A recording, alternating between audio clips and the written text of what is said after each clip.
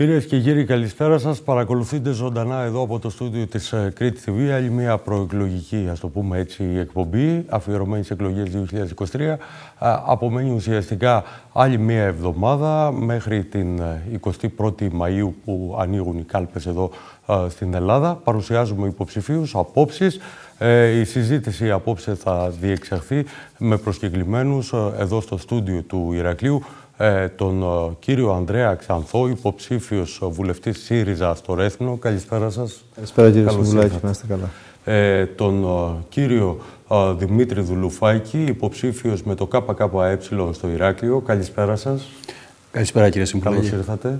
Ε, και τον κύριο Απόστολο Λουλουδάκη, ε, υποψήφιο βουλευτή με το ΜΕΡΑ 25 στο Ηράκλειο. Καλησπέρα, καλώς ήρθατε κύριε Καλησπέρα κύριε Συμβουλάκη. Ευχαριστώ πολύ για την πρόσκληση.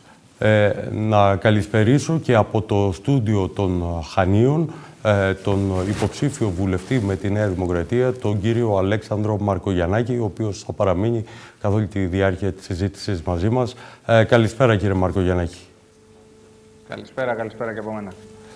Ε, θα ήθελα να ξεκινήσουμε ευθύς αμέσως ε, την κουβέντα και να δώσω τον ε, λόγο σε εσάς, κύριε Μαρκογιαννάκη, τηρώντας μια σειρά σε σχέση με την δύναμη στη Βουλή που έχετε έτσι στον πρώτο γύρο και μετά θα το ανακατέψουμε βέβαια.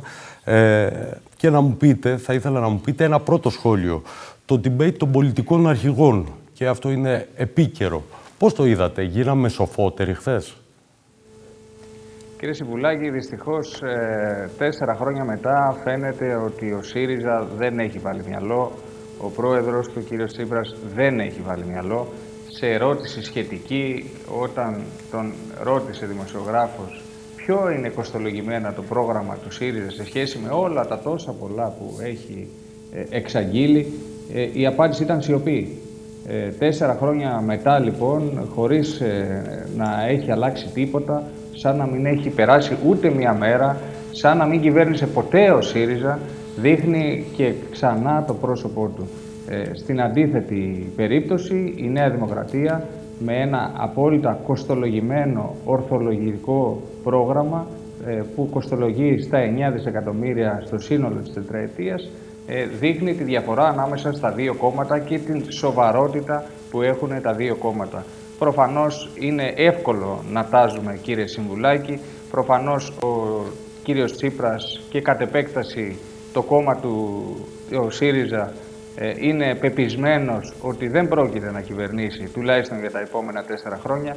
Επομένως το εύκολο που μπορεί να κάνει είναι να ξεκινήσει ξανά να τάζει, είναι να, να, να εξαγγέλει ένα νέο πρόγραμμα Θεσσαλονίκης που όλοι θυμόμαστε το 2015 με αποτέλεσμα το μόνο που καταφέρνει είναι οι πολίτες να του γυρίζουν την πλάτη. Σας κάνω Νομίζω την ερώτηση. Στις εκλογές της 21ης Μαΐου το αποτέλεσμα και η διαφορά και η διαφορά των δύο κομμάτων ε, θα φανεί ξανά στην κάλπη και η Νέα Δημοκρατία θα είναι σε μεγάλη... Κύριε Μαρκογιαννάκη, να σας κάνω την ερώτηση αυτή να την απαντήσετε σύντομα και να πάμε να δώσω την πάσα στον κύριο Ξανθό. Μήπως ο κύριος ε, Τσίπρας ε, είπε τα ίδια πράγματα όπως είπατε, όπως και το 2015, γιατί δεν έχουν αλλάξει και πολύ τα προβλήματα, η ατζέντα δηλαδή; Τι λέτε; Κοιτάξτε, καταρχάς ε, νομίζω ότι το 2015 θα μπορούσε να το πει κανείς αυτό εάν δεν κυβερνούσε ε, ο κύριος Τσίπρας το 2015. Προφανώς και η εικόνα της χώρας είναι τελείως διαφορετική. Την απάντηση νομίζω ότι δίνει το σύνολο του, του, του λαού, του ελληνικού λαού. Την απάντηση τη δίνουν τα νούμερα, την απάντηση τη δίνει η εικόνα της χώρας στο εξωτερικό. Νομίζω ότι σε σχέση με τα προηγούμενα χρόνια που ήμασταν περίγελος σε όλη την Ευρώπη, όπου δήθεν με ένα νόμο θα σκίζαμε το μνημόνιο, όταν ήρθε ένα τρίτο μνημόνιο, πλέον τα πράγματα είναι τελείως διαφορετικά. Σαφώς και υπάρχουν προβλήματα, σαφώς και η Νέα Δημοκρατία κλήθηκε να αντιμετωπίσει σοβαρά, σοβαρές διεθνείς, ε, ε, διεθνά, διεθνή προβλήματα, τα οποία όμως διαχειρίστηκε με σοβαρότητα. Δεν έχουν λυθεί όλα. Ε, το πρόβλημα της ακρίβειας που ενδεχομένως θα συζητήσουμε στη συνέχεια είναι παρόν. Ε, από εκεί και πέρα όμως νομίζω ότι η εικόνα της χώρας είναι τελείως διαφορετική, ο κόσμος το αντιλαμβάνεται και νομίζω ότι θα φανεί και θα αποτυπωθεί και στην κάλπη η διαφορά αυτή. Μάλιστα. Α, κύριε Ξανθέ, το ίδιο ερώτημα σε εσάς. Ε, μήπως δεν έχουν αλλάξει τα προβλήματα που αντιμετωπίζει η χώρα, α, οπότε πιθανόν να ακούγεται και να ερμηνεύεται από την πλευρά της Νέας Δημοκρατίας ότι οι εξαγγελίες από την πλευρά του ΣΥΡΙΖΑ είναι ίδιες, είναι ένα copy-paste του 2015. Να κάνω ένα σχόλιο καταρχήν για το ναι. χθεσινό debate, γιατί νομίζω ότι αυτή είναι η αφορμή της, ε, των ερωτήσεων. Ε, πρώτον, αποδεικνύεται ότι ήταν μια επιβεβλημένη ε, τηλεμαχία ανάμεσα στους πολιτικούς αρχηγούς, η οποία παρά τα προβλήματα που είχε, δηλαδή την ανελαστικότητα στην διαχείριση της συζήτησης, νομίζω ότι από το τίποτα ήταν αρκετά χρήσιμο να μπορεί ο κόσμος να παρακολουθήσει και να ε, αντιληφθεί τις ε, διαφορές που υπάρχουν, τις υπαρκτές διαφορές που υπάρχουν ανάμεσα στα προγράμματα, στα πολιτικά σχέδια, στις εναλλακτικές λύσεις. Και αποδεικνύεται ότι ήταν λάθος το ότι το 2019 ο κύριος Μητσοτάκης απέφυγε να συμβάλλει σε μια τέτοια ε, προεκλογική αντιπαράθεση όλων των κομμάτων. Εμείς βεβαίως θεωρούσαμε ότι θα ήταν χρήσιμο να υπάρχει και σε επίπεδο των δύο πρώτων κομμάτων μια απευθείας αντιπαράθεση στις επόμενες μέρες. Ένα κανονικό debate, ένα γιατί κανονικό ο debate, αυτό λέει. Ναι, ένα, ένα κανονικό debate. Ε, εν πάση περιπτώσει, παρόλα αυτά θεωρώ ότι ήταν χρήσιμο και τα συμπεράσματα ήταν, ε, νομίζω, η είδηση της ε, χθεσινής συζήτησης. Ε, δεν ήταν τόσο οι θέσει των κομμάτων για την, τα θέματα της οικονομίας, ε, της εξωτερικής πολιτικής, του κράτους κλπ, τα οποία έχουν πολλές φορές συζητηθεί. Ναι. Νομίζω ότι αυτό που έκανε τη διαφορά χθες ήταν η επίσημη ομολογία του Πρωθυπουργού, του κ. Μητσοτάκη, ότι υπήρχε σκάνδαλο παρακολουθήσεων και ότι ουσιαστικά ε, η κυβέρνησή του και ο ίδιος προσωπικά έχουν την ευθύνη για μια ε, κακοποίηση της λειτουργίας του κράτους δικαίου και των θεσμών στη χώρα, η οποία προφανώς πολιτική ευθύνη δεν μεταβιβάζεται στο διευθυντή του γραφείου του τον, και ανιψιό του, τον κύριο Δημητριάδη, ούτε στο μόνο στον πρόεδρο, της, στο διοικητή της ΕΕ που ο ίδιος είχε ορίσει. Νομίζω λοιπόν ότι αποδεικνύεται ότι πλέον, και ήταν ξεκάθαρο αυτό στην κοινή γνώμη, ότι δεν έχουμε να κάνουμε απλώς με μια αποτυχημένη κυβέρνηση, η οποία δεν μπόρεσε να αντιμετωπίσει, ίσα ίσα επιδίνωσε όλες τις μεγάλες κρίσεις, με τους χειρισμούς που έκανε, όλες τις μεγάλες κρίσεις που προφανώς είχαν μια διεθνή διάσταση, mm υγειονομική, ενεργειακή, πληθωριστική, ε, επι, τις επιδίνωσε με τους χειρισμούς που έκανε, οι οποίοι ήταν χειρισμοί που ευνοούσαν συγκεκριμένα επιχειρηματικά συμφέροντα και άφηναν απροστάτευτη την κοινωνία στο σύνολό τη. Δεν έχουμε λοιπόν να κάνουμε μια αποτυχημένη απλώς κυβέρνηση, αλλά έχουμε να κάνουμε και μια επικίνδυνη κυβέρνηση, επικίνδυνη και για τη λειτουργία της δημοκρατίας. Και αυτό νομίζω ότι είναι κάτι το οποίο πρέπει να σταθμιστεί πάρα πολύ σοβαρά στην επιλογή των πολιτών σε, μια, σε 10 μέρες. Μάλιστα. Σε ό,τι αφορά το ερώτημα για την ατζέντα. Α, ναι, για την ατζέντα, ναι. Προφα... Κοιτάξτε τώρα, αυτό είναι τώρα ένα εφεύρημα. Κάποιοι επικοινωνιολόγοι της Νέας Δημοκρατίας είπαν ότι θα να λέτε ότι ο ΣΥΡΙΖΑ επαναλαμβάνει τα ίδια πράγματα. Καταρχήν, εγώ είδα έναν πρωθυπουργό χθες ε, καταφανώς σε αμυντική θέση, καταφανώς τριμωγμένο και σε αμηχανία και δυσκολία να ε, ε, δικαιολογήσει τα αδικαιολόγητα. Ε, εμείς θεωρούμε ότι σήμερα είμαστε σε μια φάση όπου έχουμε μεγάλη κοινωνική ανασφάλεια. Η ανασφάλεια αυτή δεν αφορά μόνο αυτό που λέμε τον νόμο και την τάξη και την αστυνομική προστασία. Αφορά όλα τα επίπεδα της ζωής των ανθρώπων, αφορά το, την εργασία τους, το εισόδημά τους, την πρόσβαση στην ιατροφαρμακευτική περίθαλψη, τη μόρφωση των παιδιών τους, ε, την ασφάλεια δικαίου, αφορά τα πάντα. Και νομίζω ότι υπάρχει ένα γενικευμένο λοιπόν αίτημα ασφάλειας και δικαιοσύνης. Γι' αυτό και το πρόταγμα του προγράμματός μας είναι δικαιοσύνη παντού. Αυτός ο οποίος λέει ένα σύνθημα το οποίο δεν έχει καμία σχέση με την συγκυρία και με την πραγματικότητα και, δεν, και είναι και τελείως δεν έχει και κοινωνικό περιεχόμενο, είναι η Νέα Δημοκρατία και ο κ. Μητσοτάκης που λένε μπροστά. Πάμε μπροστά και όχι πίσω. Νομίζω ότι δεν υπάρχουν τέτοια. Αυτά είναι, ε, ας πούμε, τι να πω τώρα, εντελώς ε, εκτός ε, πολιτικής πραγματικότητας ε, ε, διαχωρισμοί. το θέμα είναι προς ποια κατεύθυνση θέλουμε να κινηθεί η κοινωνία, η οικονομία και η χώρα. Εμείς πιστεύουμε ότι πρέπει να υπάρξει ένα προοδευτικό σχέδιο που θα προτάσει τις ανάγκες των πολλών και όχι τα συμφέροντα των λίγων. Κύριε Δουλουφάκη, εσείς πώς είδατε το, την τηλεμαχία, αν γίναμε σοφότεροι και πώς ακούσατε και τους πολιτικούς αρχηγούς των άλλων κομμάτων; Όχι, δεν γίναμε σοφότεροι. Αυτό είναι το μόνο σίγουρο. Καταρχάς, δεν έγινε κάποιος διάλογος, έτσι, όπως εμείς τουλάχιστον θα θέλαμε και όπως θα ήταν ίσως και το σωστό. Γίνανε κάποιες κλειστές ερωτήσεις, χωρίς δυνατότητα ανταλλαγής απόψεων μεταξύ των πολιτικών αρχηγών, καθαρά για λόγους εντυπωσιασμού και, ας το πούμε και λίγο marketing. Τι καταλάβαμε από το χθεσινό debate, είδαμε δύο πρωθυπουργούς, ένα νυν και ένα πρώην, είδαμε ένα γραμματέα όπως τον κύριο Ανδουλάκη επικυβερνήσεως Πασόκ, είδαμε ένα πρώην στέλεχος της Νέας Δημοκρατίας και είδαμε και ένα πρώην Υπουργό. Να συμφωνούν ουσιαστικά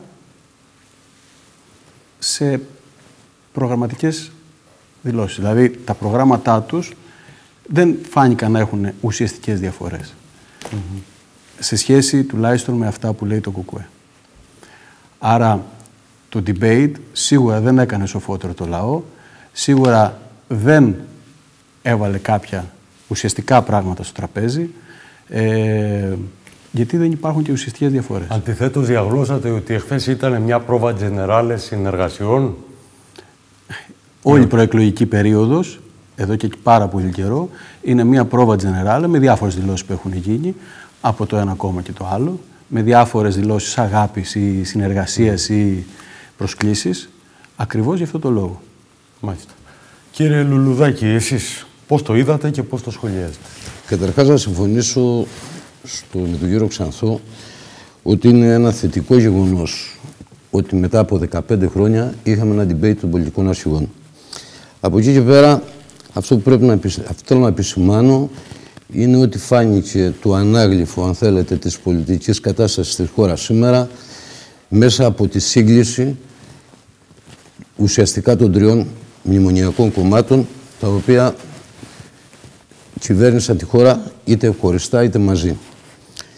Ε, φάνηκε ένα κλίμα συγκλήσεων διότι μπροστά στο ναρμαγεδόνα που έρχεται στη χώρα μετά τις εκλογές, οικονομία, αδιέξοδα τεράστια, το θέμα των πληστηριασμών, το οποίο είναι ένα σημαντικό θέμα, το θέμα το ενεργειακό, η ενεργειακή φτώχεια της χώρας, η ακρίβεια κτλ. Όλα αυτά επιδεινώνουν την κατάσταση της ανταγωνιστικότητας της ελληνικής οικονομίας και όλα αυτά τα πράγματα θα φανούν το επόμενο διάστημα. Γύρω από αυτά τα ζητήματα δεν υπόθηκε τίποτα. Ο κύριος Μαρκογιαννάκης στο ξεκίνημα της κουβέντας προσπάθησε να, δείξει μια, να δημιουργήσει μια εντύπωση ότι στην Ελλάδα υπάρχει ένα δικοματικό παιχνίδι, δηλαδή όλη του η αναφορά στην εισήγησή του ήταν γύρω από τον κακό ΣΥΡΙΖΑ και την καλή Νέα Δημοκρατία.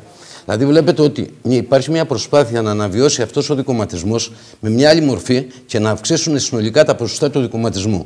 Αυτή, αν θέλετε, είναι μια στρατηγική της ελληνικής αστικής τάξης σήμερα ε, να, και αυτό έχει περισσότερη σημασία για μένα και αυτό πρέπει να δούμε με τις δεύτερες εκλογές, αν προκύψουν δεύτερες εκλογές και η εξαφάνιση των μικρών πολιτικών κομμάτων, τα οποία μικρά πολιτικά κόμματα ε, νομίζω ότι ε, είναι ιδιαίτερα χρήσιμα στην πολιτική ζωή του τόπου σήμερα, αναδεικνύονται τεράστιες αλήθειες, μπαίνουν στην καρδιά του ελληνικού προβλήματος.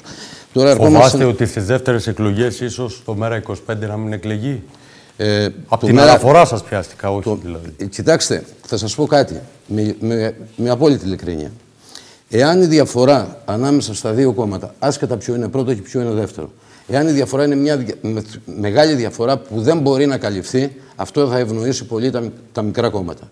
Θα δούμε μια αύξηση των μικρών κομμάτων που δεν μπορούμε να τη φανταστούμε. Ναι. Είναι δίκο που μαχαίρει δεύτερες εκλογές και για τον δικοματισμό αλλά και για τα μικρά κόμματα. Σίγουρα, εάν η διαφορά είναι μικρή, η οποία είναι ανατρέψιμη, τα μικρά κόμματα θα υποστούν μια φθορά, το οποίο, ε, το οποίο είναι απόλυτα φυσιολογικό.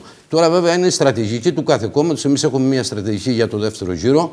Ε, αν θέλετε, θα αναδείξουμε περισσότερο ουσιαστικά το πρόβλημα και το αδιέξοδο. Μια και να σας πω, ερώτηση. μία Πείτε λέξη το. θέλω να σας πω. Ναι. Τελικά, δηλαδή, για να τελειώνουμε με αυτή την ιστορία, που αυτό αφορά το ελληνικό πρόβλημα, σαν ελληνικό πολιτικό πρόβλημα, οικονομικό πρόβλημα, τα δύο μεγάλα κόμματα συγκλίνουν σε ποσοστά, σε πάρα πολύ μεγάλο ποσοστό. Στην οικονομία δεν έχουν καμία διαφορά. Αποδέχονται το οικονομικό μοντέλο το οποίο έχει στηθεί από τα μνημόνια, από την Τρόικα, πάνω σε αυτή τη λογική να ασυγκυβερνήσουν επιτέλους και να μην μπει η χώρα σε περιπέτεια. Μάλιστα.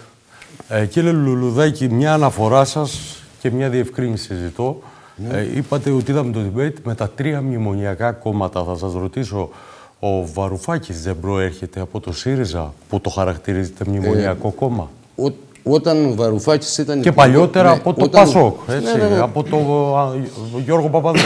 Ο- Όταν ο Βαρουφάκης ήταν υπουργός του ΣΥΡΙΖΑ, ο ΣΥΡΙΖΑ δεν ήταν μνημονιακός, λέτε. Πρώτον, δεν ήταν, δεν ήταν μνημονιακός, αλλά ο, ΣΥΡΙΖΑ, ο ΣΥΡΙΖΑ ήταν πάνω στη στρατηγική της ρήξης με την Ευρωπαϊκή Ένωση και υπεράσπιση του προγράμματος τη Θεσσαλονίκης. Το πρόγραμμα το οποίο είχε. Μετά το δημοψήφισμα ήρθε μια μεγάλη τούμπα. Ήρθαν Ναι, όλα αλλά ανάποδα. φαίνεται ότι ο, Μπήκε σε ο στρατηγική. Τσίπρας έχει πει ότι μάλλον δεν το γνώριζε ότι ακολουθούσε αυτή Θα τη σα πω κάτι. Θα στρατηγική. σας πω κάτι. Εγώ δεν κατηγορώ. Μπήκε στη στρατηγική της ηθικολόγηση. Η στρατηγική της ηθικολόγηση του ΣΥΡΙΖΑ πρέπει να τη δούμε κάτω από, τη, από, από ένα πλαίσιο. Τα πρακτικά αποτελέσματα της ηθικολόγησης ποια είναι; Ότι ένα χρέος της τάξης των 100 των ε, 296 εκατομμυρίων όταν μπήκαμε στα μνημόνια έχει περάσει τα 400 δισεκατομμύρια αυτή τη στιγμή. Όταν του ΑΕΠ της χώρας ήταν στα 200 δισεκατομμύρια, στα 226 δισεκατομμύρια περίπου και αυτή τη στιγμή δεν πιάνουμε ούτε τα 200 δισεκατομμύρια. Σας λέω μόνο αυτά τα νούμερα, δεν θέλω να το Μάλιστα. επεκτείνω. Μάλιστα. Ποια είναι τα πρακτικά αποτελέσματα; Συνεπώς τα οποία δεν έχουν- νιώθετε ότι είστε μέσα από ένα μνημονιακό κόμμα ο, ο γραμματέας. Θεωρείτε ότι ο γραμματέας συνεργάστηκε ήταν με μέσα ένα σε ένα κόμμα, κόμμα, που ήταν δεν με- ήταν μνημονιακό την εποχή που συνεργαζόταν. Αυτό λέτε. Ήταν σε ένα κόμμα μέσα, το οποίο είχε μία αντίληψη ότι θα πάμε, θα διαπραγματευτούμε, θα διαπραγματευτούμε και θα επαναλάβω αυτό. Θα κάνουμε ένα νόμο και θα καταργήσουμε, το- θα καταργήσουμε τα μνημόνια. Σήμερα μιλάμε ότι έχουν, ότι έχουμε βγει από το μνημόνιο. Όταν μένουν το 100% των εφαρμοστικών νόμων του μνημονίου, τι, θα- τι σημαίνει ότι έχουμε φύγει από τα μνημόνια. Πάντως- Έχει καταρριφθεί ένας μνημονιακός νόμος. Πάντως, ε, κύριε Ξανθέ, ε, ο λόγος που σήμερα η Νέα Δημοκρατία έχει να αντιτάξει και να κατακρίνει το η διακυβέρνηση του ΣΥΡΙΖΑ είναι αυτό ακριβώς, το εσωτερικό της αστείο, με ένα νόμο. Και από ό,τι φαίνεται ήταν ένα εφεύρημα βαρουφάκι έξω από το ΣΥΡΙΖΑ. Κύριε Συμβουλάκη, νομίζω ότι αυτή η συζήτηση έχει γίνει κατ' επανάληψη. Και είναι λίγο σήμερα, πώς να το πω τώρα... Άβολο. ε, όχι, καθόλου άβολο. Ε, είναι εκτός κλίματος. Ε, έχουμε περάσει αυτό το στάδιο. Και νομίζω ότι η, δια, ο δι- η διαχωριστική γραμμή τώρα πια ανάμεσα σε μνημονιακά και αντιμνημονιακά κόμματα είναι τελείως ξεπερασμένη. Γιατί μια κυβέρνηση που προφανώς είχε και πολιτικό κόστος ανέλαβε την ευθύνη να κλείσει αυτή την εκκρεμότητα και να βγάλει τη χώρα και από το μνημόνιο και από τη σκληρή δημοσιονομική επιτροπή. Προφανώς υπάρχουν απολύξεις και ουρές δημοσιονομικών στόχων και περιορισμών, αλλά η φάση της ε, μνημονιακής επιτροπής ήταν τελείως διαφορετικό.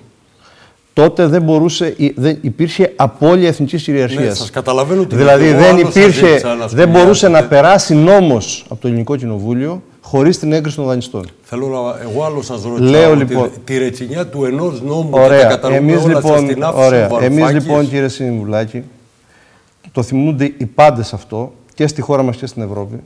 Δώσαμε μία πολύ σκληρή μάχη το πρώτο εξάμεινο του 2015 για να επαναδιαπραγματευτούμε συνολικά τη θέση της Ελλάδας, τους όρους ε, αντιμετώπισης από τους δανειστές, τα μέτρα λιτότητας κλπ. Επειδή τότε το μέτωπο, το ευρωπαϊκό, ήταν πολύ σκληρό και επειδή υπήρχε η προσπάθεια να, αποφύγουν, να αποφύγουν οι ελίτ, τις ευρω... οι ευρωπαϊκές ελίτ και η ευρω... ευρωπαϊκή συντηρητική γραφειοκρατία να αποφύγει ένα ντόμινο προοδευτικών αλλαγών, ιδιαίτερα στον Ευρωπαϊκό Νότο, κράτησαν μια πάρα πολύ σκληρή στάση απέναντί μας. Και αναγκαστήκαμε βεβαίως να κάνουμε ένα συμβιβασμό, τον οποίο τον θέσαμε, είχαμε την τιμιότητα να το θέσουμε υπό την κρίση του ελληνικού λαού το Σεπτέμβριο του 2015 και ο κόσμος μας έδωσε τη δυνατότητα στο, σε συνθήκες υποχώρησης, ήτας και συμβιβασμού να διαχειριστούμε τη χώρα και να βγάλουμε τη χώρα, στη, η βασική μας υποχρέωση και η βασική μας δέσμευση το, το Σεπτέμβριο του 2015 ήταν ότι θα βγούμε από το μνημόνιο, από την κρίση και από τη λιτότητα. Και αυτό συνέβη. Μάλιστα. Και Σουφλάκη μπορεί να κάνω ένα σχόλιο. Ε, σχολιάστε να πάμε και στον κύριο Μαρκογιαννάκη. Κύριε Μαρκογιαννάκη, μπορείτε να παρεμβαίνετε ε, σε οποιοδήποτε σημείο της ε, συζήτησης. Το γεγονός ότι είστε σε απόσταση δεν σημαίνει ότι μπορείτε να παραμένετε έξω από τη συζήτηση. Μετά το σχόλιο του κυρίου Δουλουφάκη, έρχομαι αμέσως μετά σε εσάς. Ναι, προσπαθώ λίγο να καταλάβω γιατί άκουσα μόλις τώρα έναν, ε, να μιλάμε τώρα για έναν πρωθυπουργό του ΣΥΡΙΖΑ, νυν πρόεδρο του ΜΕΡΑ25, ο οποίος έχει δηλώσει δημόσια ότι το 70% των δύο πρώτων μνημονίων ήταν καλό και ότι έχει ψηφίσει με επιστολική ψήφο το τρίτο μνημόνιο, το οποίο το έφερε. Άρα εγώ δεν μπορώ να καταλάβω ούτε τον συνάδελφο του ΣΥΡΙΖΑ, ούτε τον συνάδελφο του ΜΕΡΑ25, τι ακριβώς ε, συμβαίνει. Γιατί αυτό που βλέπω είναι ότι υπάρχει μία ε, συμπόρευση και μία σύγκληση ότι το τρίτο μνημόνιο που έφερε ο ΣΥΡΙΖΑ, ενώ ναι. έχει υποσχεθεί κάτι διαφορετικό, ήταν και το χειρότερο από όλα. και ότι αυτό ακόμα. Δεν ισχύει, δεν ισχύει τώρα. Ε, αυτό δεν ισχύει, γιατί το λέγεται έτσι. Δεν αυτό, εντάξει, το λέει ο κ. Τσανδός ότι δεν ισχύει. Η δημοσιονομική προσαρμογή είχε συγκεκριμένο εύρος ε, και κόστος ήταν 9 δισεκατομμύρια, ενώ η προηγούμενη δημοσιονομική προσαρμογή της πρώτης πενταετίας του μνημονίου είχε υπερβεί τα 40 δισεκατομμύρια. Ούτε σκληρότερο, ούτε χειρότερο, το ένα ε, ούτε αντικοινωνικότερο έφερνε, ήταν. Έφερνε διαφορετικούς νόμους, ναι. οι οποίοι τι κάνανε, ουσιαστικά ενισχύανε τα κέρδη των λίγων ενάντια στο λαό. Ο λαός μπορεί να κρίνει αν το μνημόνιο, το τρίτο ή το πρώτο ή το δεύτερο ήταν καλύτερο ή όχι. Και τα τρία έχουν το ίδιο αποτέλεσμα. Και δεν έχουμε βγει ουσιαστικά από τα μνημόνια. Έτσι, άσχετα αν το λένε. Και όχι μόνο αυτό, ετοιμάζεται και έρχεται το Ευαγγέλιο όλων των κομμάτων, το, το λεγόμενο υπερμνημόνιο, το Ταμείο Ανάκαμψης. Το οποίο δεν είναι απλό. Έχει αιματηρούς όρους, τους οποίους θα θέλαμε να τους αναλύσουμε κάποια στιγμή και νομίζω ότι θα είναι, είναι και το μείζον θέμα. Είναι η κοινή γραμμή θα έχετε την ευκαιρία των, και κομμάτων. Μέσα από έτσι. έργα που χρηματοδοτούνται θα φτάσουμε εκεί, οπότε θα μπορείτε να πείτε και για το Ταμείο Ανάκαμψης να πάμε στον κύριο Μαρκογιαννάκη. Ε, κύριε Μαρκογιαννάκη, δεν ξέρω αν θέλετε κάτι να προσθέσετε, να σχολιάσετε από αυτά που ακούσατε. Αλλιώς να πάω ε, στη δεύτερη ήθελα, ερώτηση. Θα ήθελα να σχολιάσω κάτι. Ναι. Θα ήθελα. Ε, αρχικά να, να πω στον κύριο Λουδάκη ότι αντί να ανησυχεί ε, για το ενδεχόμενο της αύξησης των ποσοστών των δύο πρώτων κομμάτων, νομίζω είναι προτιμότερο να ανησυχεί για τις κλειστές τράπεζες που επαναλαμβάνει ο πρόεδρος τους, ο αρχηγός του κόμματός τους και που δεν ε, ανησυχεί καθόλου ή δεν βλέπει κανένα πρόβλημα στο να ξανακλείσουν οι τράπεζες, όπου δεν βλέπει κανένα πρόβλημα στο να έχουμε ως ε, εθνικό νόμισμα τις Δήμητρες. Επομένως νομίζω εκεί πέρα κυρίως ε, θα πρέπει να εστιάσει και να προβληματίσει τους ίδιους, γιατί νομίζω ότι ο κόσμος ο ίδιος απομονώνει τις τακτικές και τις λογικές αυτές. Και για να αποκαταστήσουμε λίγο την αλήθεια σε σχέση με τα 9 δις τα οποία είπε ο κύριος Ξανθός ότι ήταν τα μέτρα τα οποία επέβαλε το τρίτο μνημόνιο, να του θυμίσω λοιπόν ότι λίγο πριν, ένα διάστημα πριν, τα μέτρα τα οποία είχε ζητήσει τότε η Τρόικα ήταν μόλις 900 εκατομμύρια ευρώ. Και αναφέρομαι στο mail Χαρδούβελη, το οποίο διέρευσε μάλιστα, και τότε ε, φρόντισε ο ΣΥΡΙΖΑ παρέα με τη Χρυσή Αυγή ε, να μην εκλέξουν πρόεδρο της Δημοκρατίας ώστε να έρθει ο ΣΥΡΙΖΑ στην κυβέρνηση. Κουνάτε το χέρι σας κύριε Ξανθέα, αλλά δυστυχώς η αλήθεια σας διαψεύδει και η αλήθεια είναι αυτή την οποία μόλις ανέφερα. 9 δις λοιπόν σε σχέση με 900 εκατομμύρια αντιλαμβάνεστε πολύ καλά τη διαφορά που έχει ανάμεσα στα δύο νούμερα. Νομίζω ότι η συζήτηση αυτή ε, δεν έχει κανένα νόημα με την έννοια ότι επιστρέφουμε ε, τη χώρα πίσω που όλοι θέλουν να, mm. να ξεχάσουν. Ε, και είπε πολύ σωστά ο κύριος Ξανθός ότι όλοι θυμούνται την περίφημη διαπραγμάτευση ΣΥΡΙΖΑ το εξάμεινο που δεν κοιμήθηκε ο κύριος Τσίπρας ε, τόσες πολλές ώρες. Ακριβώς έτσι είναι κύριε Ξανθέ. Κανείς δεν το έχει ξεχάσει και προφανώς όμως κανείς δεν θέλει να το ξαναζήσει.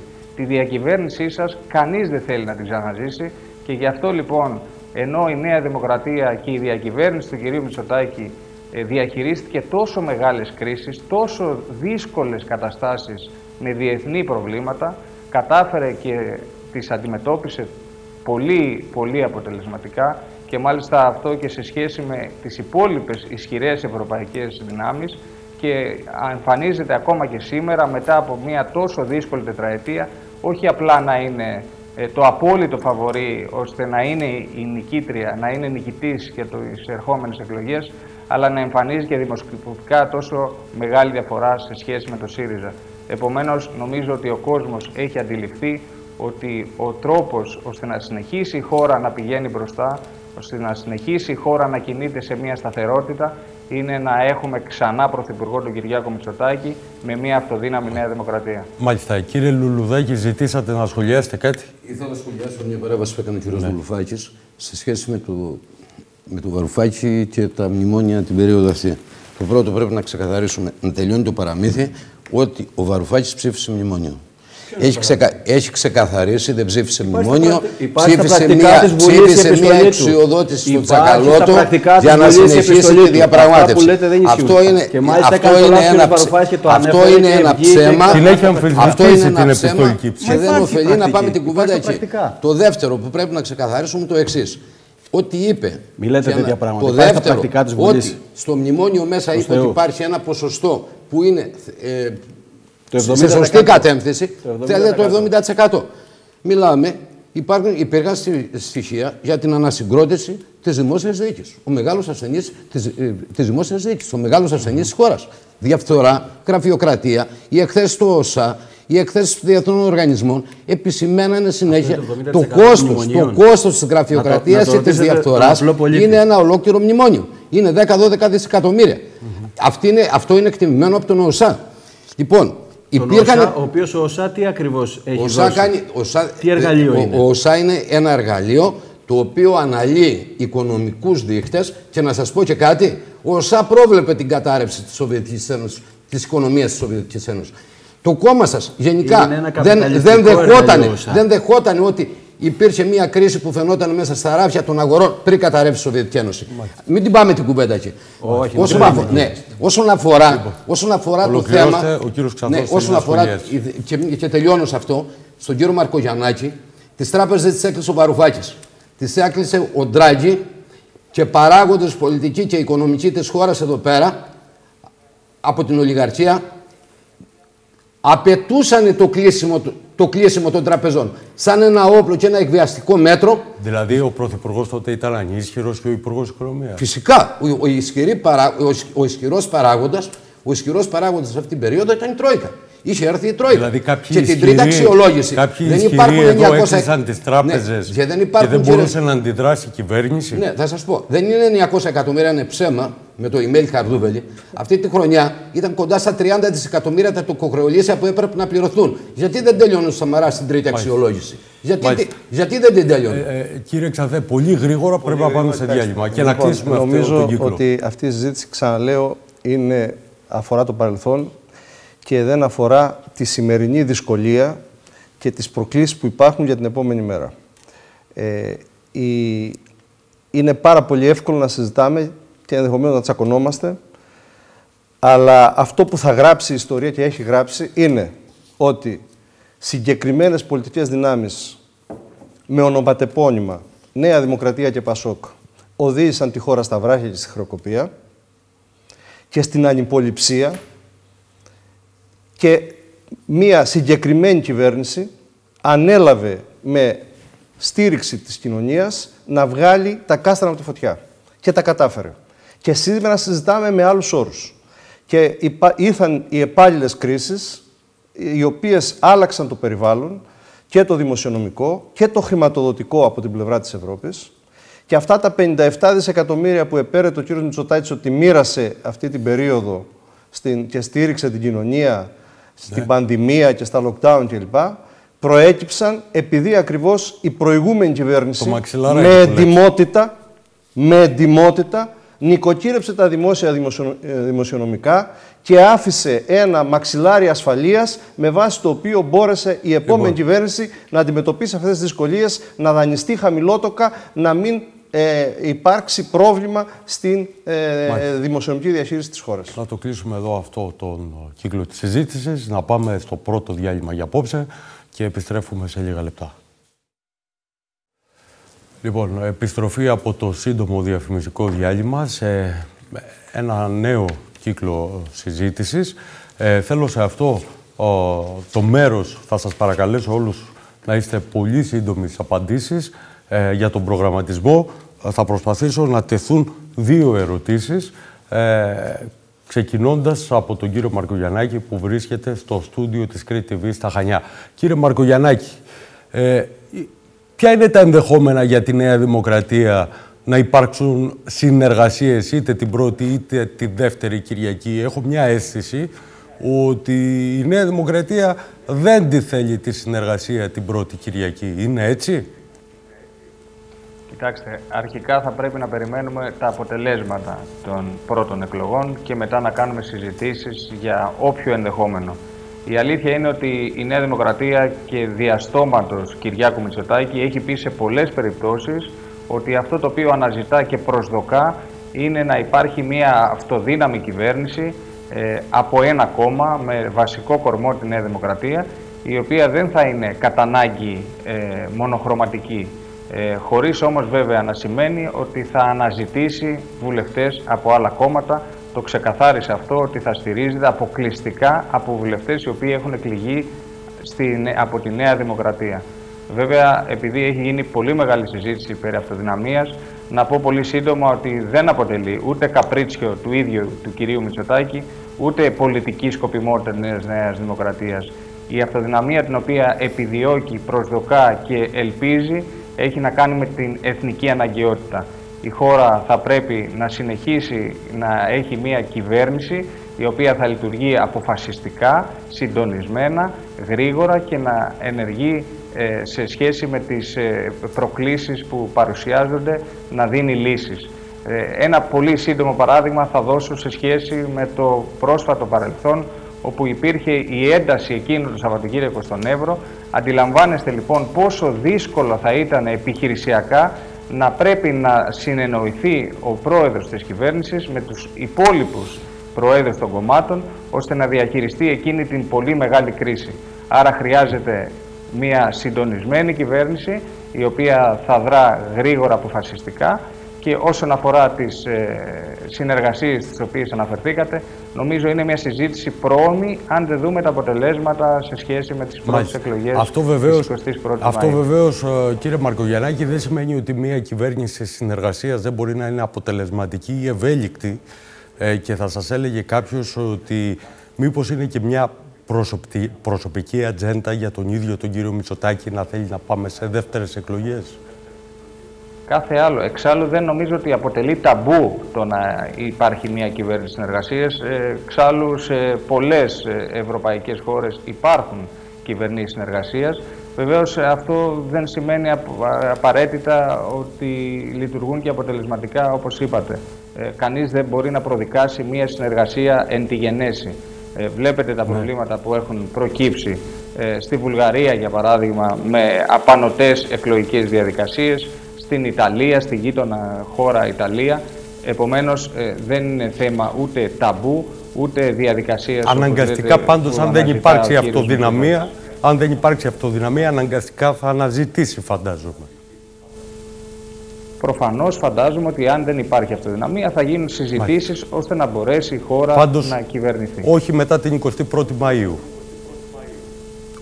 Νομίζω, ξαναλέω, ότι είναι μια συζήτηση η οποία είναι ε, πολύ πρόημη. Αναμένουμε να δούμε ποια θα είναι ακριβώς τα αποτελέσματα. Αναμένουμε να δούμε ποιες θα είναι οι συζητήσεις ε, ανάμεσα στα κόμματα τα οποία ενδεχομένως ούτως ή άλλως θα έχουν την ε, εντολή, τα, αναφέρομαι στα τρία πρώτα κόμματα, για να σχηματίσουν κυβέρνηση.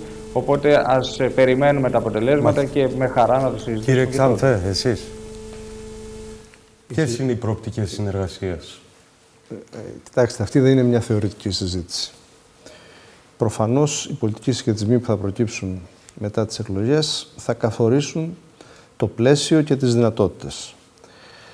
Για μένα έχει τεράστια σημασία όχι μόνο η κατεύθυνση που είπαμε προηγουμένως, στην οποία πρέπει να κινηθεί η νέα κυβέρνηση, δηλαδή μια κατεύθυνση κάλυψης και εξυπηρέτησης των αναγκών των πολλών, μείωση των ανισοτήτων, στήριξη του κοινωνικού κράτους, στήριξης του δημοσίου ε, συμφέροντος ε, και βεβαίως αποκατάστασης του κύρους και της αξιοπρέπειας των δημοκρατικών θεσμών που έχουν κακοποιηθεί από αυτή την κυβέρνηση.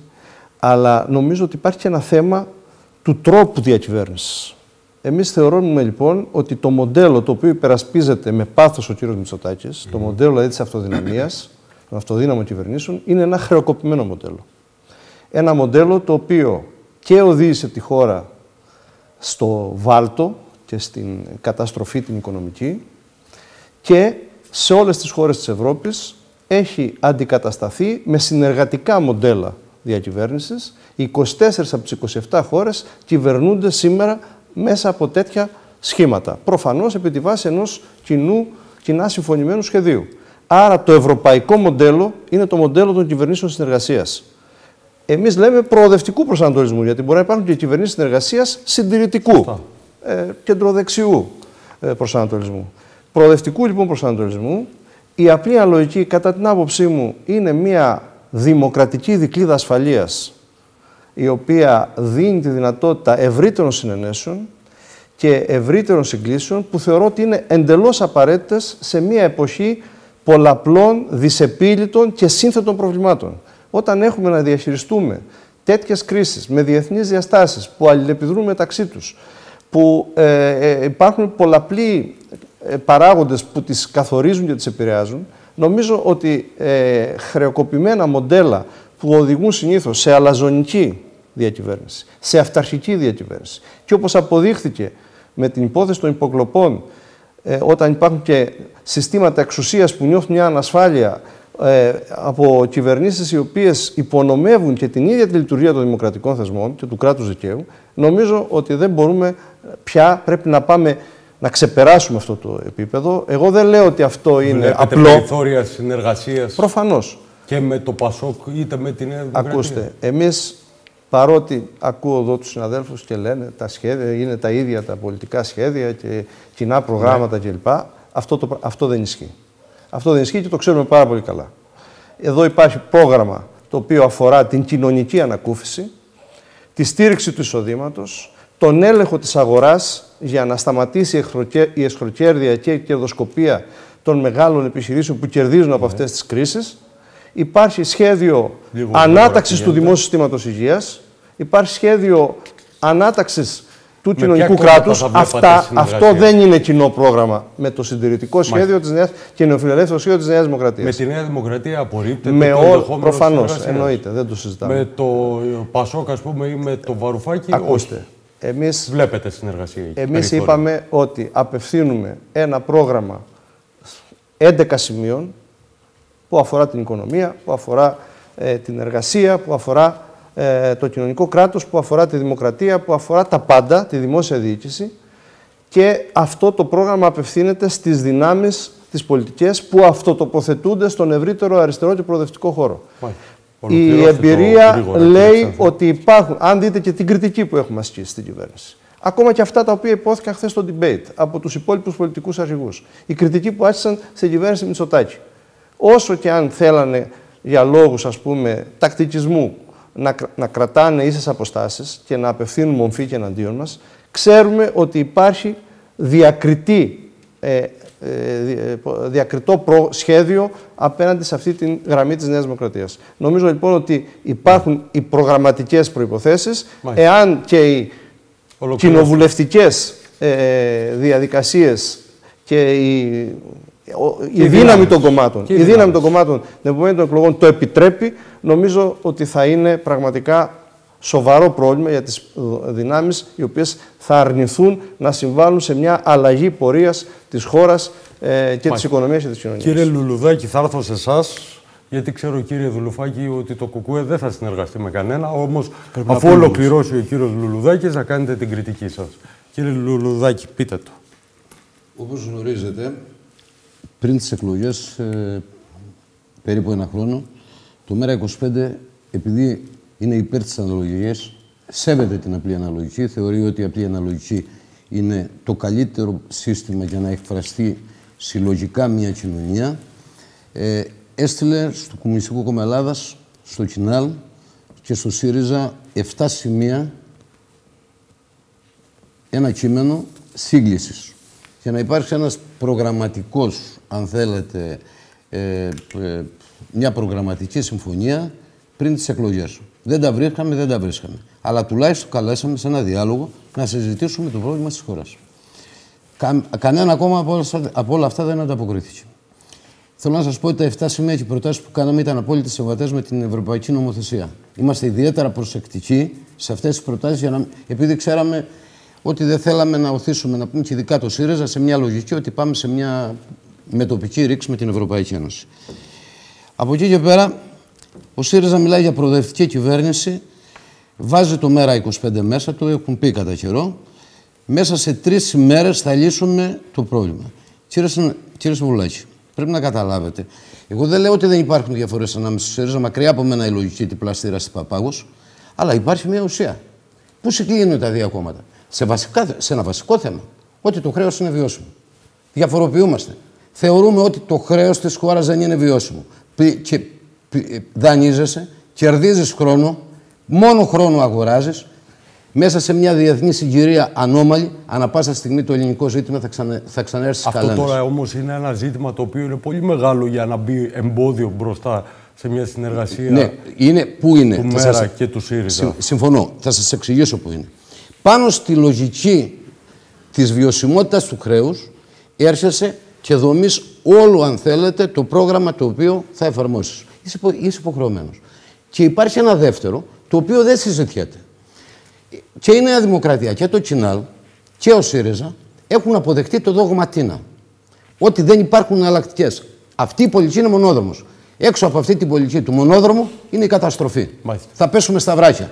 Και δεν είναι στα βράχια η χώρα 12 χρόνια. Δεν είναι στα βράχια. 600.000 Έλληνες έχουν φύγει, νέοι επιστήμονες. 500.000 επιχειρήσεις έχουν φύγει. 700.000 σπίτια βγαίνουν στον πληστηριασμό. Επειδή είναι μικρό το μέρος αυτό, για να το πούμε σύντομα. Ξέρετε, ναι, ναι, μία λέξη. Συγκλήσεις... Ναι, θα σας πω μία λέξη. Ξέρετε τι θα ζήσουμε το επόμενο διάστημα. Τις εξώσεις. Είχαμε έξωση ανάπηρου mm -hmm. χωρίς πόδια. Τον πετάξαν οι κλητήρες έξω και, και μένει τρεις μέρες στο μπαλκόνι του σπιτιού του στο κρύο της Θεσσαλονίκης. Αυτές οι σκηνές θα είναι η καθημερινότητα της Ελλάδας μετά τις εκλογές.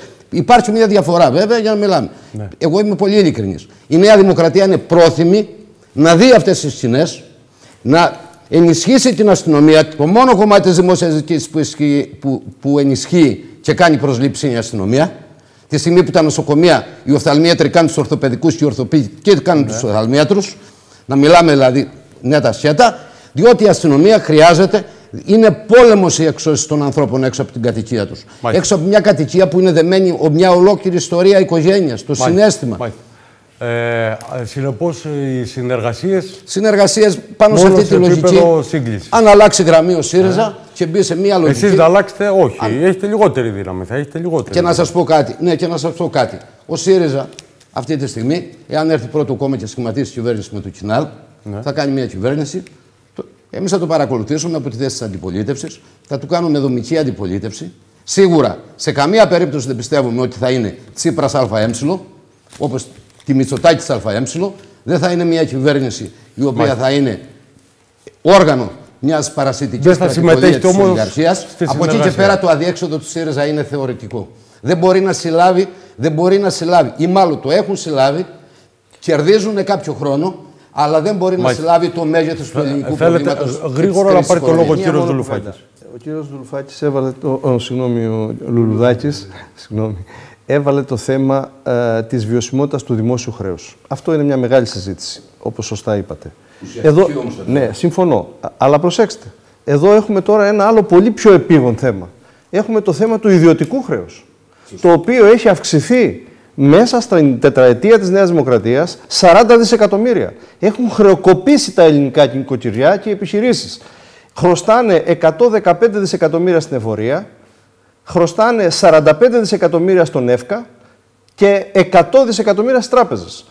Ε, ε, άρα όλα αυτά τα, ε, τα νούμερα που λέει και ο κύριος Μητσοτάκης και πέρεται ότι έχει βάλει τη χώρα σε τροχιά ανάπτυξη κλπ. έχουν σαθρά πόδια διότι υπάρχει ένα αυξανόμενο ιδιωτικό χρέος. Άρα αυτό είναι ένα σημείο, δεν είναι ένα σημείο από κοινού να το αντιμετωπίσουμε, να κάνουμε παρέμβαση για παράδειγμα για τα κόκκινα δάνεια. Εμείς έχουμε καταθέσει μια συγκεκριμένη πρόταση να ναι. δούμε πώς θα ελαφρύνουμε ε, τον κόσμο, πώς θα υπάρξει μια ρύθμιση χρεών, πώς θα στηρίξουμε το εισόδημα, πώς θα παρεύουμε στον έλεγχο των τιμών στην αγορά και να, ε, να, να θασευτεί η ακρίβεια. Αυτά δεν είναι στοιχεία ναι. Συνονόησης και σύγκλησης προοδευτικών δυνάμεων. Κύριε Δουλουφάκη, εσείς πώς βλέπετε θα υπάρχουν συνεργασίες; Είμαστε σίγουροι. Είναι τόσα πολλά τα ζητήματα που τέθηκαν που δεν ξέρω αν φτάνει ο χρόνος για να απαντήσω. Λοιπόν, για το μοντέλο συνεργασίας που είπε ο κύριος Ξανθός ε, και ανέφερε και ο κύριος Μαρκογιαννάκης, λοιπόν, για την Ευρωπαϊκή Ένωση. Έχουμε δει πολλές κυβερνήσεις συνεργασίας. Κάποιες από αυτές είναι και ακροδεξίες, όπως έχουμε στην Ιταλία. Έτσι. Επειδή ανέφερε ο κ. Ξανθός για την κυβέρνηση συνεργασίας, το μοντέλο συνεργασίας στο προοδευτικό, να θυμίσω ότι ο ΣΥΡΙΖΑ έκανε συγκυβέρνηση με τους ανεξάρτητους Έλληνες, με τους ΑΝΕΛ. Ένα κόμμα καθαρά εθνικιστικό. Έτσι. Άρα, συνεργασία με προοδευτικές δυνάμεις θα πρέπει να το καθορίσουμε ακριβώς τι εννοούμε. Αυτό που λέμε εμείς, αυτό που λέμε, αυτό που λέμε εμείς, αυτό που λέμε εμείς είναι ότι ουσιαστικά. Μα, προ, προγραμματικής σύγκριση. Όχι, όχι, όχι. Μια, ε, μια χαρά κυβέρνηση. Δεν ήταν, δεν ήταν κυβέρνηση. Δεν ήταν κυβέρνηση. Και βγήκαμε. Ειδικού. Τι να κάνουμε. Πώς βγήκαμε, αφού φέραμε τρίτο μνημόνιο φέρατε. Τρίτο μνημόνιο φέραμε. Τρίτο μετά μνημόνιο, το τρίτο λέμε. Μετά το τρίτο. Τρίτο μνημόνιο δεν φέρατε. τότε θα, ότι έχουμε φέρει και τέταρτο, το οποίο το λοιπόν, ξεχάσατε οι πάντες. Αλλά λοιπόν, τέλος πάντων. Το θέμα όμως ποιο είναι; Διαφορές δεν έχουν είναι ένα παζάρι ανάμεσα στα τρία κόμματα και με τη συνεργασία που είπε εδώ πέρα ο κ. Λουλουδάκης, το πώς μετά την επόμενη μέρα των εκλογών θα κάνουν τις συνεργασίες. Γιατί ουσιαστικά οι συγκλήσει υπάρχουν. Και αυτό δεν το αποδεικνύουν δεν το λέμε μόνο εμείς, το αποδεικνύουν τα, τα πεπραγμένα. Το αποδεικνύει το 50% των νομοσχεδίων που έχει ψηφίσει ο ΣΥΡΙΖΑ της Νέας Δημοκρατίας, το 70% των νομοσχεδίων που έχει ψηφίσει το ΠΑΣΟΚ. Έτσι. Η πρόταση νόμου που έχει καταθέσει το ΚΚΕ, γιατί είπε για 7 σημεία σύγκληση ο κ. Λουδάκη, αλλά το ΚΚΕ κατέθεσε συγκεκριμένες προτάσεις νόμου mm-hmm. μέσα στην Βουλή. Κατάρριση του ειδικού φόρου στα καύσιμα και σε άλλα είδη πρώτης ανάγκης. Ε, επαναφορά 13ου-14ου μισθού και στις συντάξεις.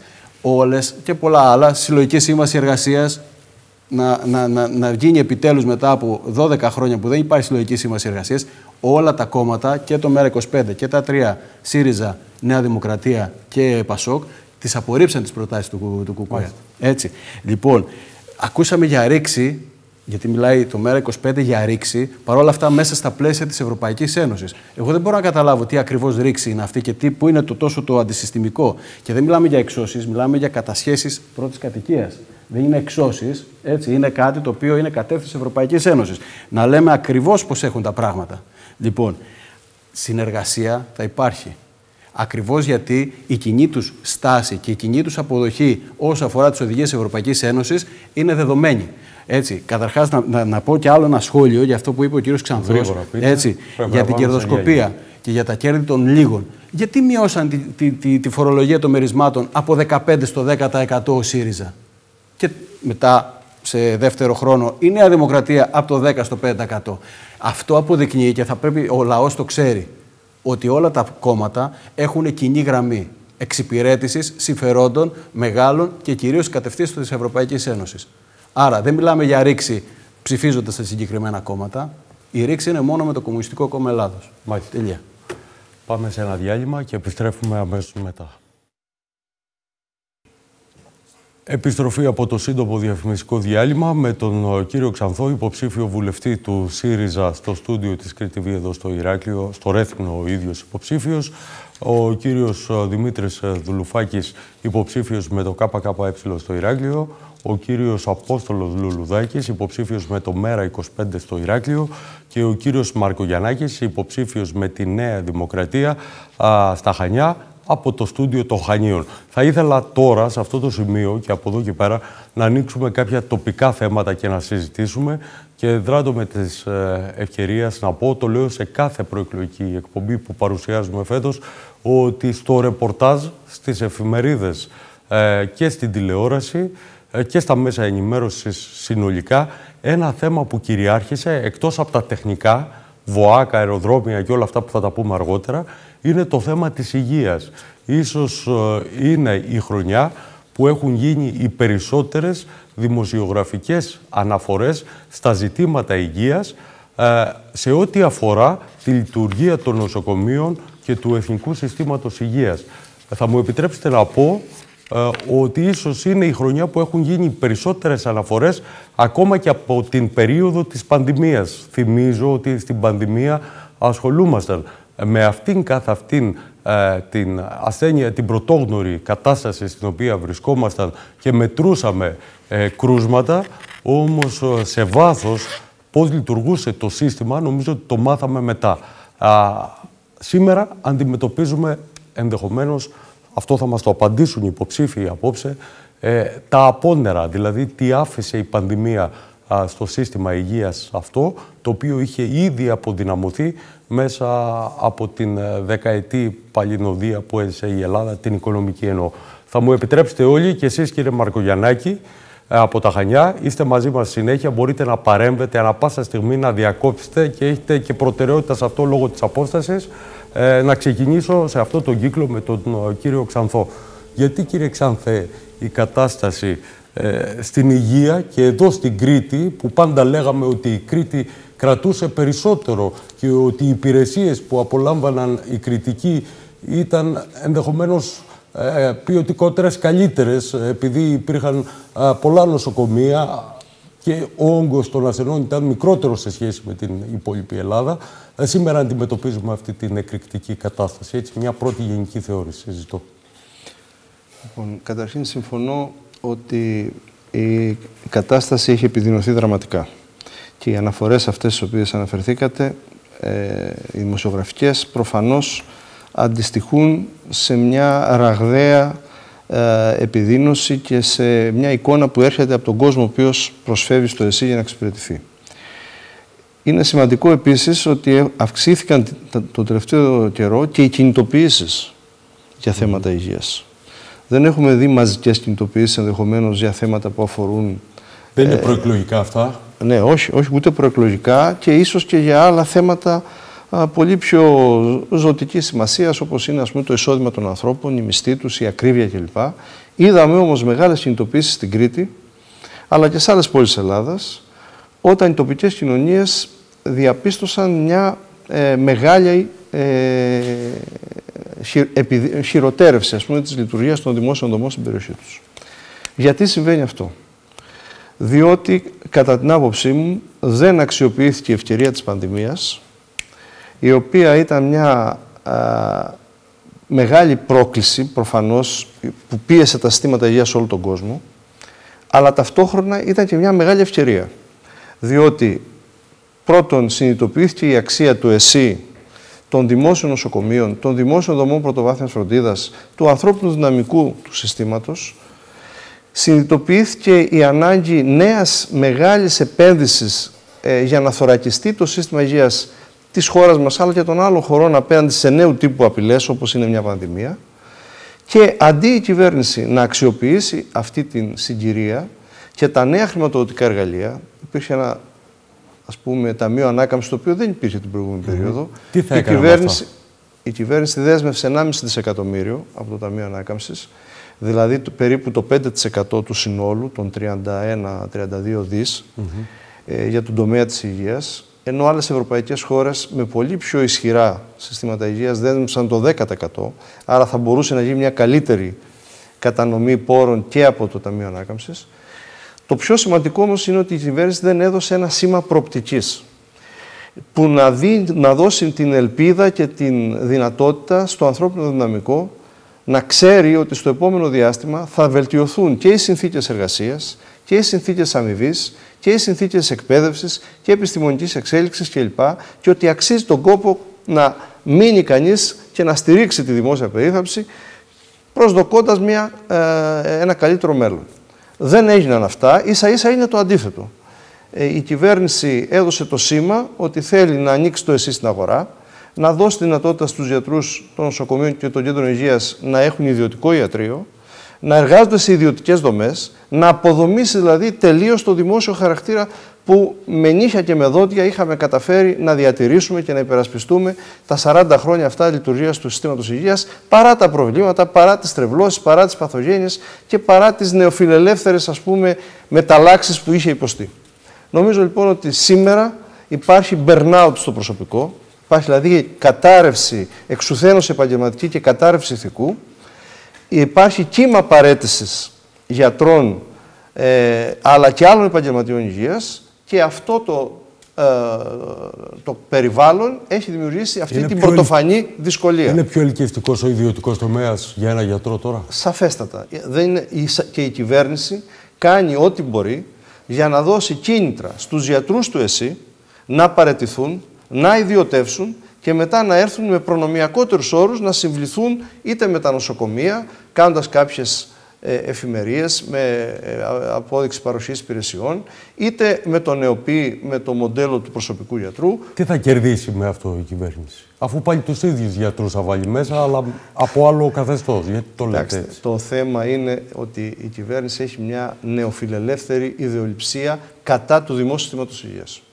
Το απεχθάνεται το εσύ, όσο και να λέει ο Πρωθυπουργός, και τα στελέχη της κυβέρνησης ότι αναγνωρίζουμε την αξία του και χειροκροτούμε το προσωπικό του που κάνει υπεράνθρωπες προσπάθειες στην πανδημία κλπ. κλπ.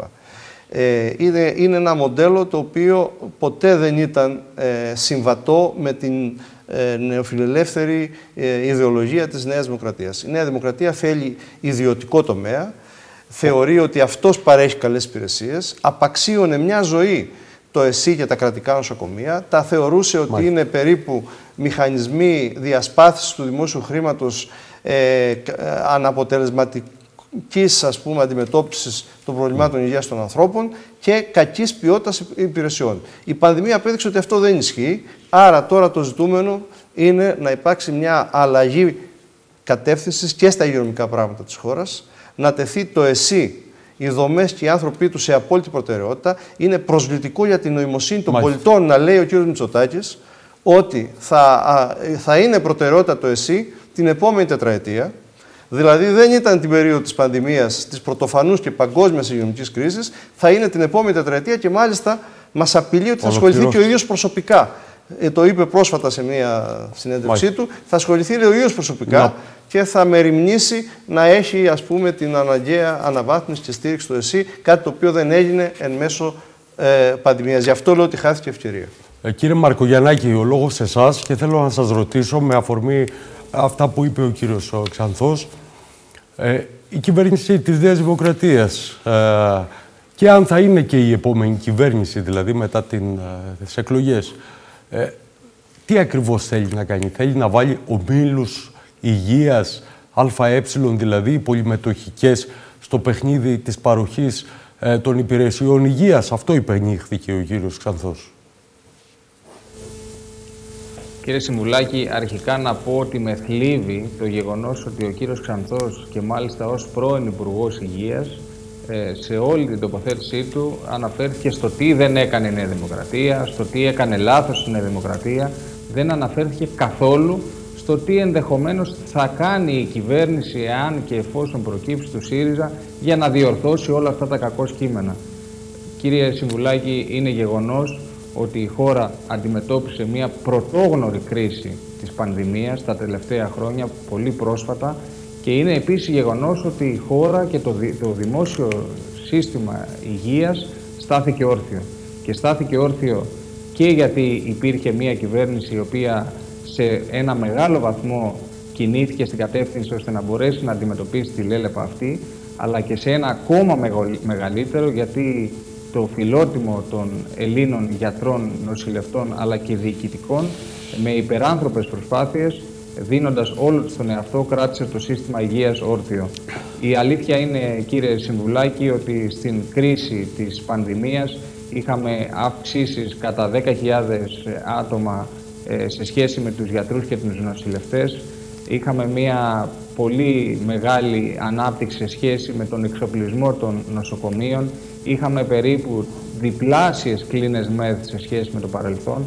Και βεβαίως όλα αυτά δεν τα λέω για να πω ότι όλα έγιναν σωστά, κάθε άλλο.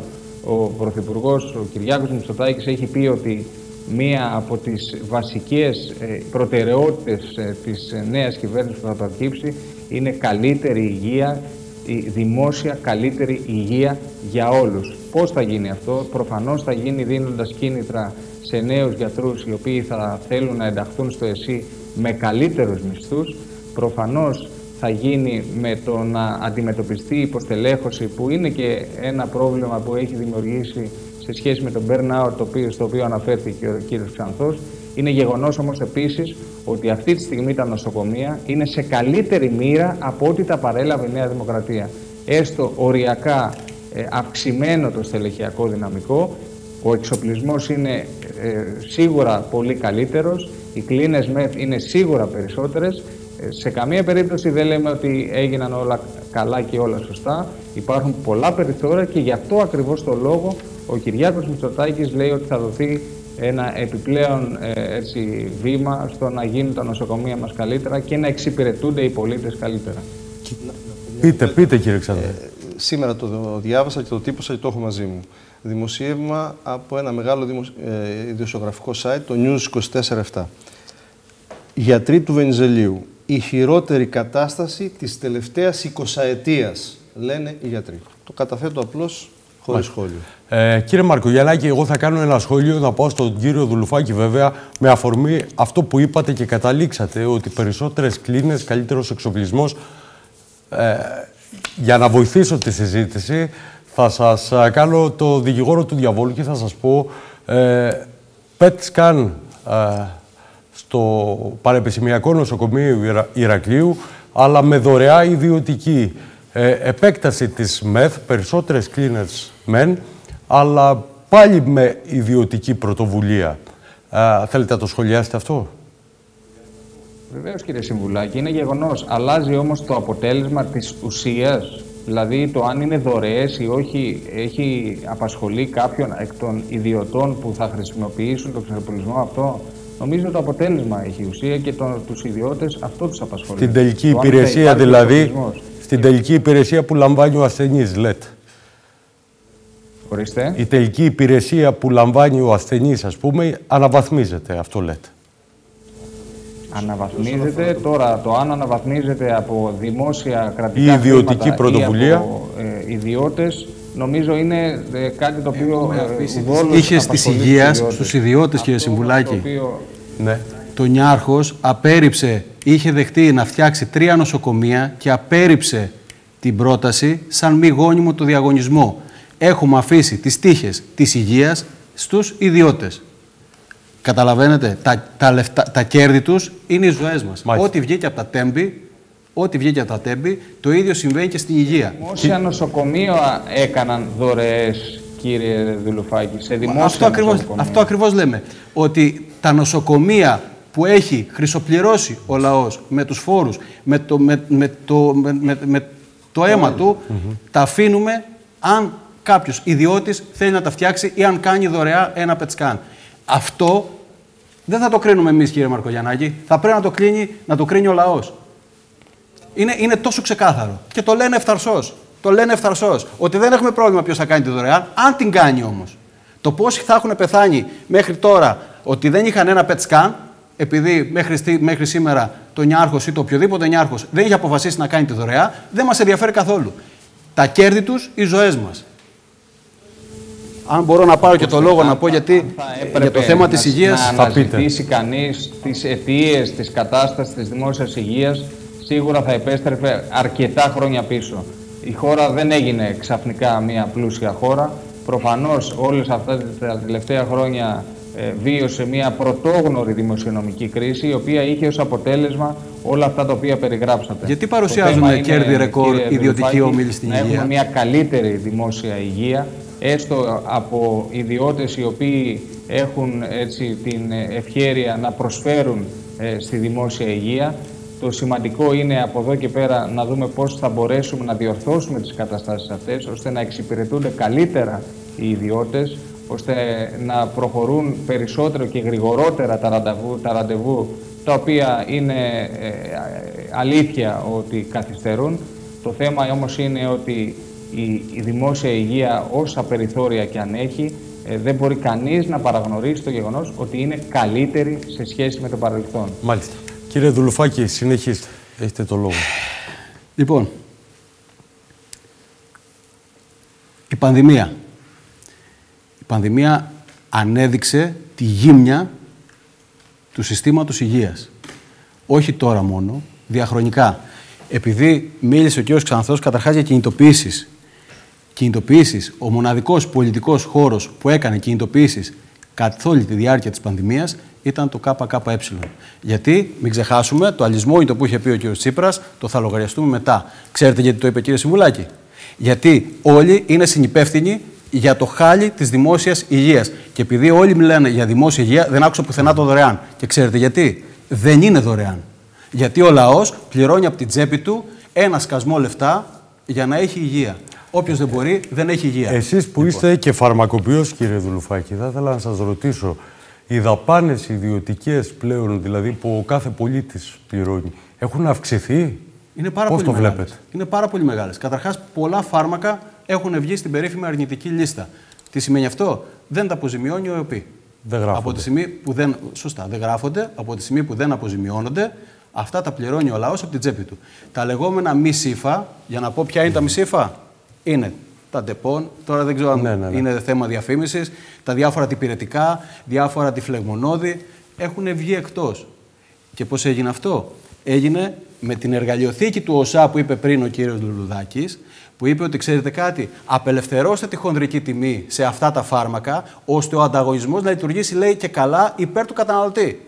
Τι έγινε, ξέρετε τι έγινε; Απελευθερώθηκε η χονδρική τιμή και το τεπών εκεί που κόστιζε 60 λεπτά, αυτή τη στιγμή κοστίζει 2. Γιατί ο χονδρέμπορας αποφάσισε και έβαλε τη χονδρική τιμή όπου αυτός νόμιζε ότι το συμφέρει. Αυτό δεν έγινε μόνο σε αυτό το φάρμακο, είναι και σε πολλά άλλα. Και δεν είναι μόνο τα φάρμακα.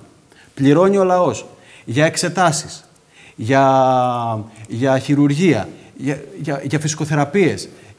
Ένα σκασμό λεφτά.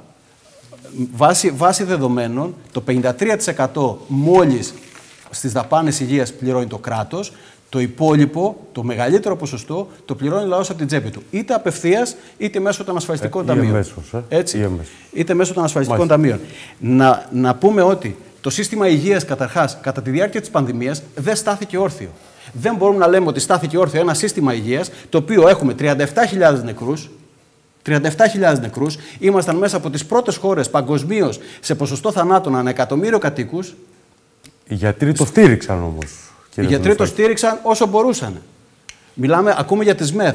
500 κάτι ΜΕΘ είχαμε πριν την πανδημία, πήγαν στις 1100, ενώ ο Παγκόσμιος Οργανισμός Υγείας είχε πει, χωρίς την πανδημία, ότι οι ανάγκες της χώρας είναι περίπου 2.500 με 3.000 ΜΕΘ, χωρίς την πανδημία.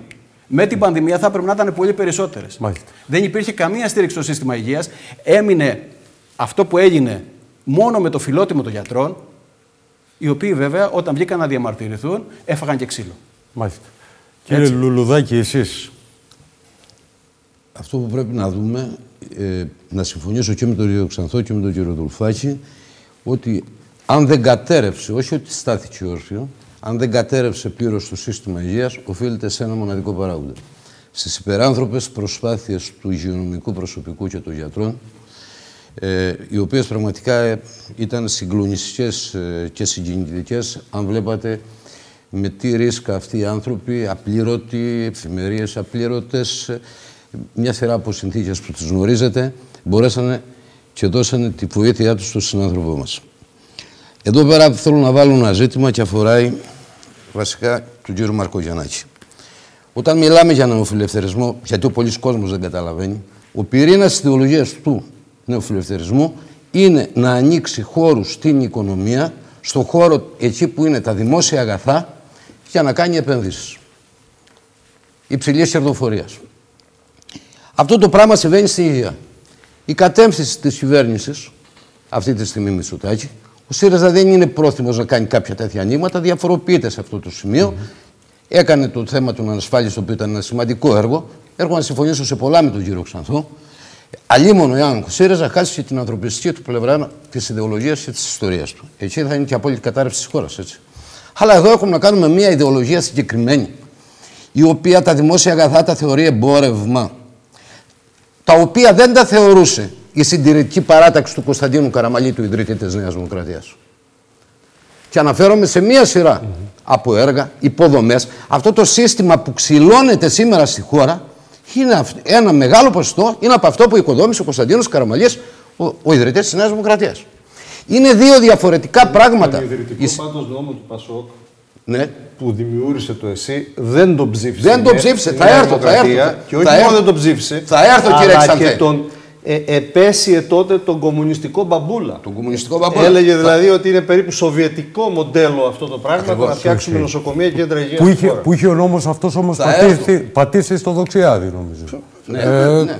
Καραμαλή, θα έρθω σε έτσι. αυτό το σημείο. Θα τον έρθω σε αυτό οποίο το σημείο. δεν άφησαν να υλοποιήσει το σχέδιό του. Το σχέδιο του Σωστά. Σπύρου Δοξιάδη ήταν όντως Αλλά περίπου ο διορατικό, νόμος αυτός αλλά η Νέα Δημοκρατία του Γεννηματά και ήταν ο νόμος Δοξιάδη. ο- ο- τότε ας πούμε η συντεχνία και η επιρροή ειδικά των ιδιωτών γιατρών αντέδρασε και απέτρεψε αυτό το σχεδιασμό. Ολοκληρώστε κύριε Πριν να έρθει Λουλουδάκη. το Ναι, Πασόκ. ε, ε, συμφωνώ απόλυτα σε αυτό. Θα το, θα το έλεγα μάλιστα.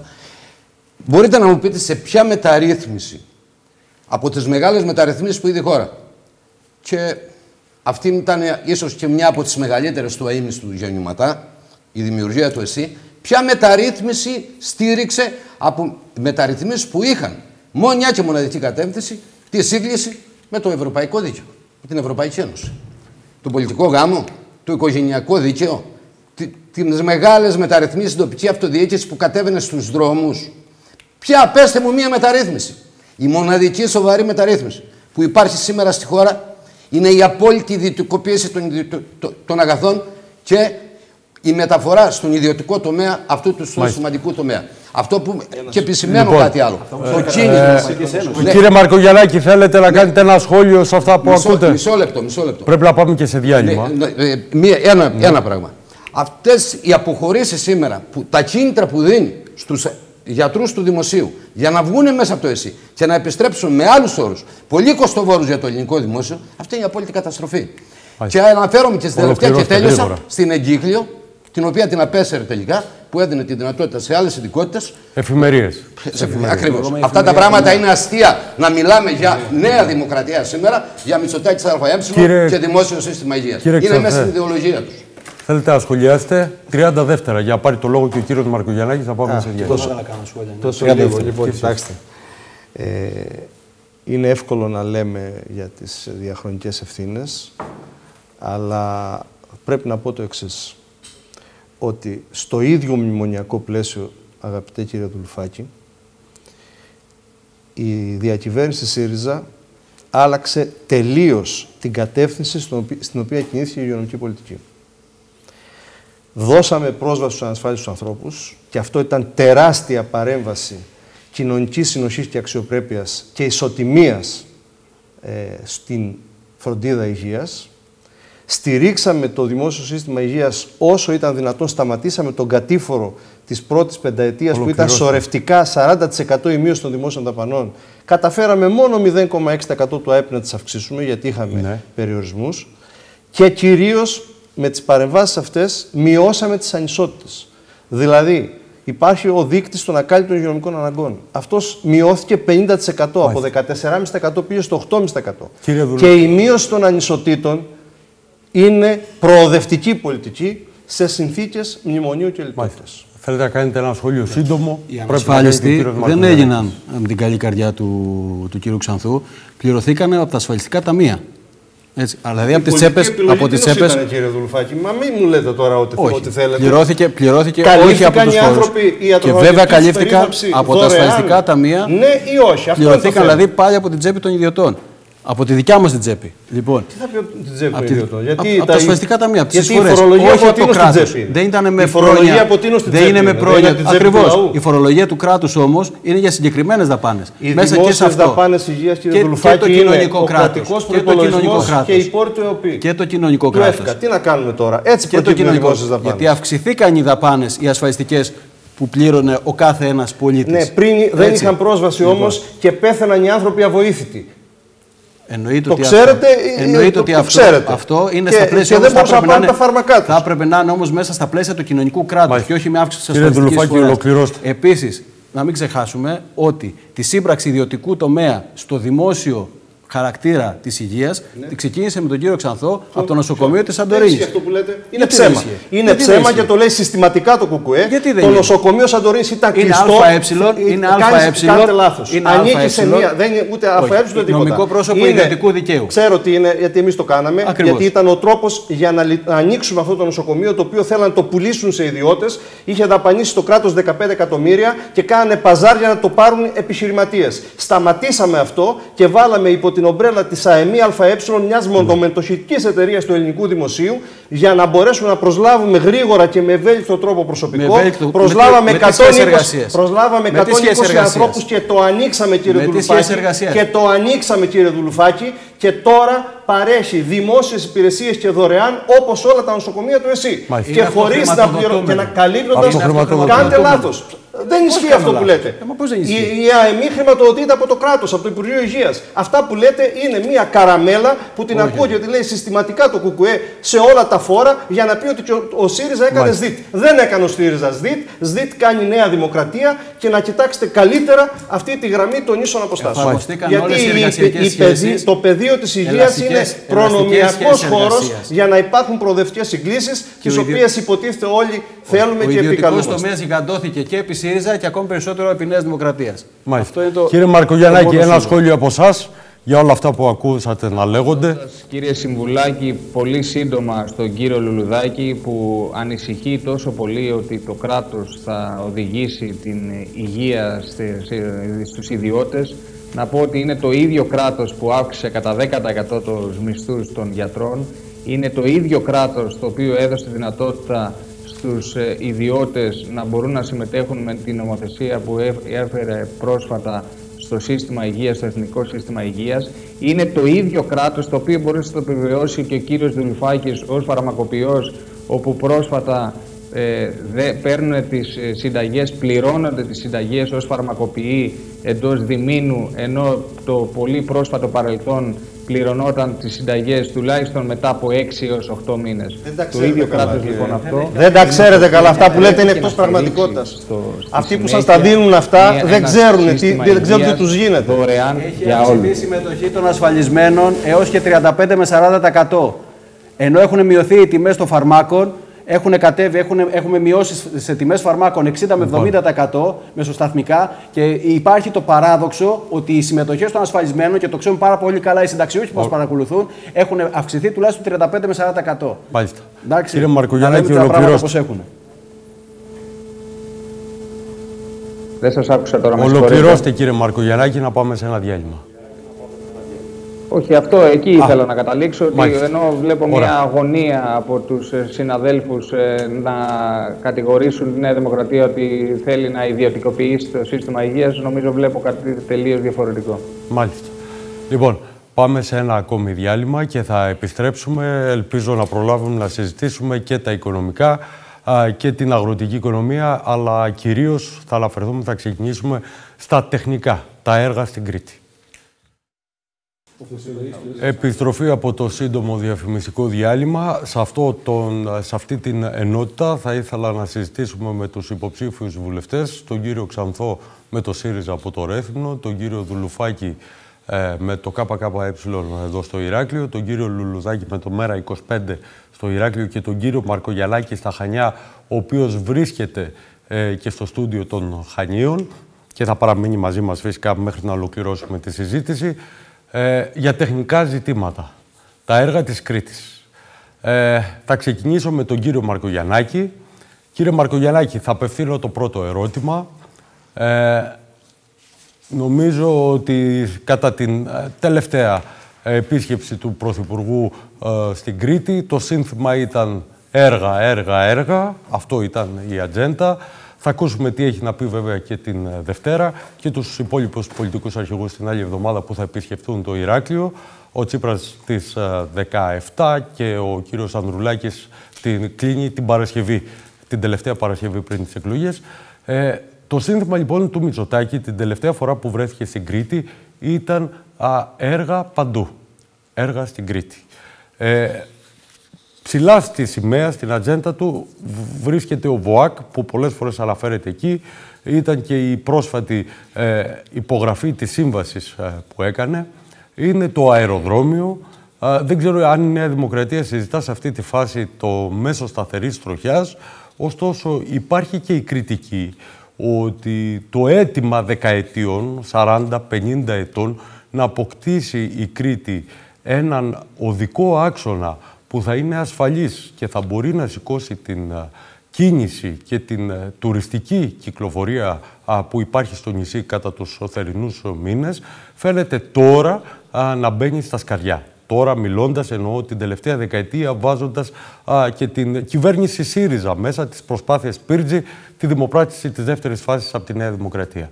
Εκείνο που θέλω να ρωτήσω και για να ανοίξει η κουβέντα είναι η εξής η ερώτηση. Ε, θεωρείτε κύριε Μαρκογιαννάκη ότι ο νέος ΒΟΑΚ που θα προκύψει από τα έργα θα είναι ο δρόμος αυτός που μας αξίζει ε, και ο δρόμος που θα μας εξυπηρετήσει; Και αυτό το λέω με την υπόμνηση ότι ήδη στο Ηράκλειο έλαβαν απόφαση να προσφύγουν στο Συμβούλιο της Επικρατείας για τις διχοτομήσεις που κάνει ο ΒΟΑΚΑ στην πόλη. Το ίδιο έχει συμβεί και στο Ρέθυμνο, γιατί αγνοήθηκαν ολόκληρες περιοχές ή μάλλον αποκλείονται ολόκληρες περιοχές. Σχολιάστε το. Κύριε Συμβουλάκη, νομίζω ότι τα δεδομένα αυτή την περίοδο είναι τελείως διαφορετικά σε σχέση με το πώς ήταν κάποια χρόνια πριν. Εγώ δεν έχω καμία διάθεση, εξάλλου το γνωρίζετε, ούτε να μηδενίζω, ούτε να μην δέχομαι τις προθέσεις όλων των προηγούμενων κυβερνήσεων. Η πραγματικότητα όμως είναι ότι ο ΒΟΑΚ πλέον είναι γεγονός και κανείς δεν συζητάει για το αν θα έχουμε ε, πλέον ένα σύγχρονο αυτοκινητόδρομο. Όλοι πλέον συζητάμε για το πότε θα έχει ολοκληρωθεί. Εμείς στο Περιφερειακό Συμβούλιο, εγώ ως επικεφαλής της μείζωνος αντιπολίτευσης της περιφέρειας. Ε, περάσαμε πολύ πρόσφατα και ψηφίσαμε τους όρους περιβαλλοντολογικών μελετών ε, και σε σχέση με το σύνολο του έργου, αλλά και σε σχέση με τις παρακάμψεις.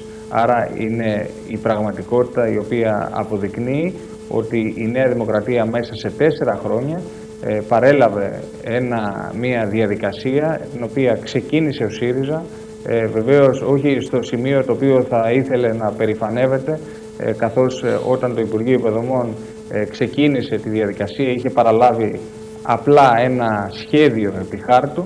Τώρα πλέον συζητάμε για το πότε θα ολοκληρωθεί. Ήδη το κομμάτι Νεάπολης Αγίου Νικολάου έχει, έχουμε μπουλντόζες στους δρόμους.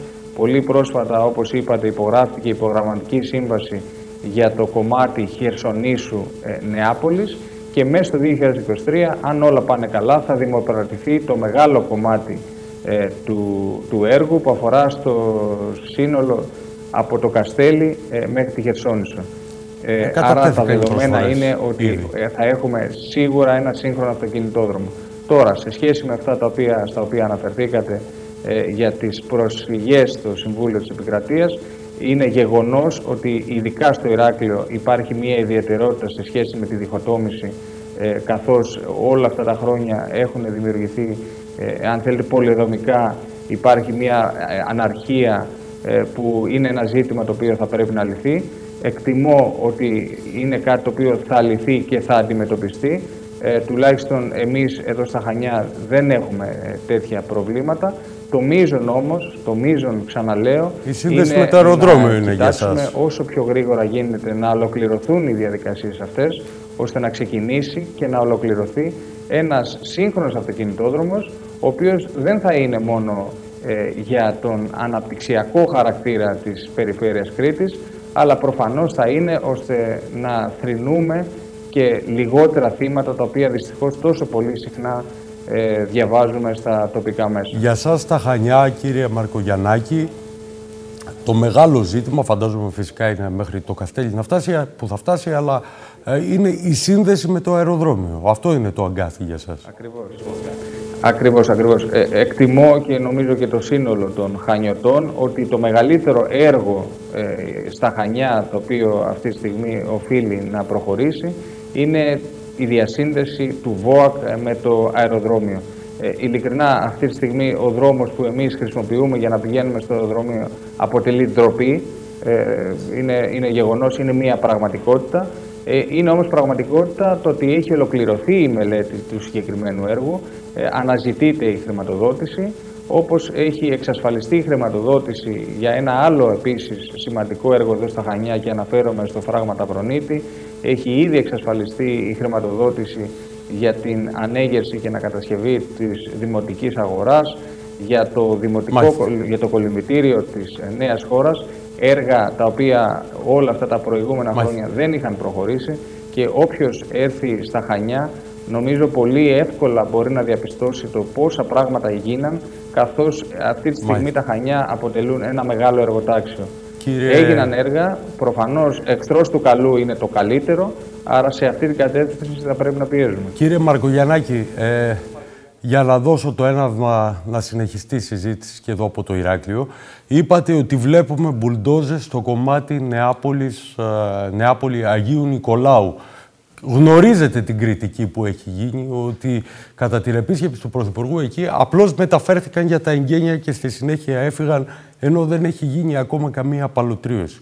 Θα σας το θέσουν από εδώ, θα το βάζω πρώτος. Το απαντάτε; Επειδή πολύ πρόσφατα έτυχε να περάσω, ε, νομίζω ότι η πραγματικότητα ε, σας ε, ε αμφισβητεί. Mm όπως και να έχει αυτή την κριτική, νομίζω ότι ακούω μόνο από κακοπροαίρετους και από στελέχη του ΣΥΡΙΖΑ. Η πραγματικότητα όμως είναι μία. Η πραγματικότητα είναι ότι το μεγάλο αυτό έργο πλέον είναι γεγονός, το ότι έχει ξεκινήσει και όλοι ελπίζουμε ότι θα ολοκληρωθεί εντός ε, χρονοδιαγράμματος. Και δεν θα σταματήσει, λέτε, έτσι; Προφανώς. Θα προχωρήσει απρόσκοπτα, αυτό λέω. Ε, κύριε Ξανθέ. Προφανώς και βεβαίως να ολοκληρωθεί και το κομμάτι ε, Αγίου Νικολάου Σιτία. Γιατί όταν θέλουμε να Αυτό λέμε ότι θέλουμε μια ισότητα από το ένα περιφερειακή ενότητα, μια περιφερειακή ενότητα στην άλλη, ε, οφείλουμε να έχουμε. Ε, Αλλά δεν υπάρχει καμία πρόβλεψη προς το παρόν δεν υπάρχει καμία πρόβλεψη προς το παρόν. Ας ελπίσουμε ότι θα υπάρξει σύντομα. Η υπόθεση του ε, ΒΟΑΚ, ενός δηλαδή σύγχρονου αυτοκινητόδρομου, ο οποίος να εξυπηρετεί τους κατοίκους και τους επισκέπτες της Κρήτης, είναι μια υπόθεση και μια κρεμότητα δεκαετιών. Και δεν περιποιεί, δεν περιποιεί νομίζω τιμή ε, στο πολιτικό σύστημα, στους αυτοδιοικητικούς παράγοντες, ε, στις τοπικές εξουσίες των προηγούμενων δεκαετιών που ε, επέτρεψαν να έχει βαλτώσει αυτή η υπόθεση. Η αλήθεια λοιπόν είναι ότι ο ΒΟΑΚ ως ένα ενιαίο έργο, ως μια ενιαία στρατηγική ε, σχεδιασμού και υλοποίησής του και χρηματοδότησής του δρομολογήθηκε από την προηγούμενη κυβέρνηση. Υπήρξε η αρχιτεκτονική χρηματοδοτική με τα, τα τρία μοντέλα χρηματοδότησης, δηλαδή σύμβαση παραχώρησης ΣΔΙΤ και δημόσιες επενδύσεις. Ε, υπήρξε, υπήρξε ο σχεδιασμός, ένας αρχικός σχεδιασμός ο οποίος είχε αποτυπωθεί σε μια υπουργική απόφαση και όχι σε κάποια γονατογραφήματα όπως μας έλεγαν, ε, όπως μας έλεγε τον πρώτο καιρό, την πρώτη διετία ο κ. Μητσοτάκης. Και αυτό το οποίο εκκρεμούσε ήταν να γίνει μια διαβούλευση με τις τοπικές ναι. κοινωνίες, να γίνουν οι αναγκαίες διορθωτικές κινήσεις, να βελτιωθεί η χάραξη σε ορισμένα επίμαχα σημεία, όπως ήταν στο Ρέθμινο και δυτικά στην περιοχή δηλαδή του Καυρού, Επισκοπής ε, κλπ, Γεωργιούπολης, αλλά και στην ε, ανατολική πλευρά ε, του Ρεθύμνου, στην περιοχή δηλαδή Σφακάκη, Σταυρωμένου κλπ. Ε, αφού πέρασαν δύο χρόνια πλήρους απραξίας, η κυβέρνηση ουσιαστικά υιοθέτησε την αρχιτεκτονική που είχε δρομολογηθεί όσον αφορά τη χρηματοδότηση, ε, Βεβαίως και το, υπήρξε και νέο χρηματοδοτικό εργαλείο, το οποίο δεν υπήρχε στη δική μας την περίοδο, που ήταν το, θέμα, ε, το Ταμείο Ανάκαμψης. Αλλά υπήρχαν δύο προβλήματα. Το πρώτο είναι ότι δεν έκανε διαβούλευση, με αποτέλεσμα να υπάρξουν σοβαρές εστάσεις αντιρρήσεις και προσφυγές στο, στο ΣΤΕ από την πλευρά του ε, δυτικής ε, πλευράς του Ρεθύμνου. Την πλευρά της Επισκοπής. Ακριβώς, ναι.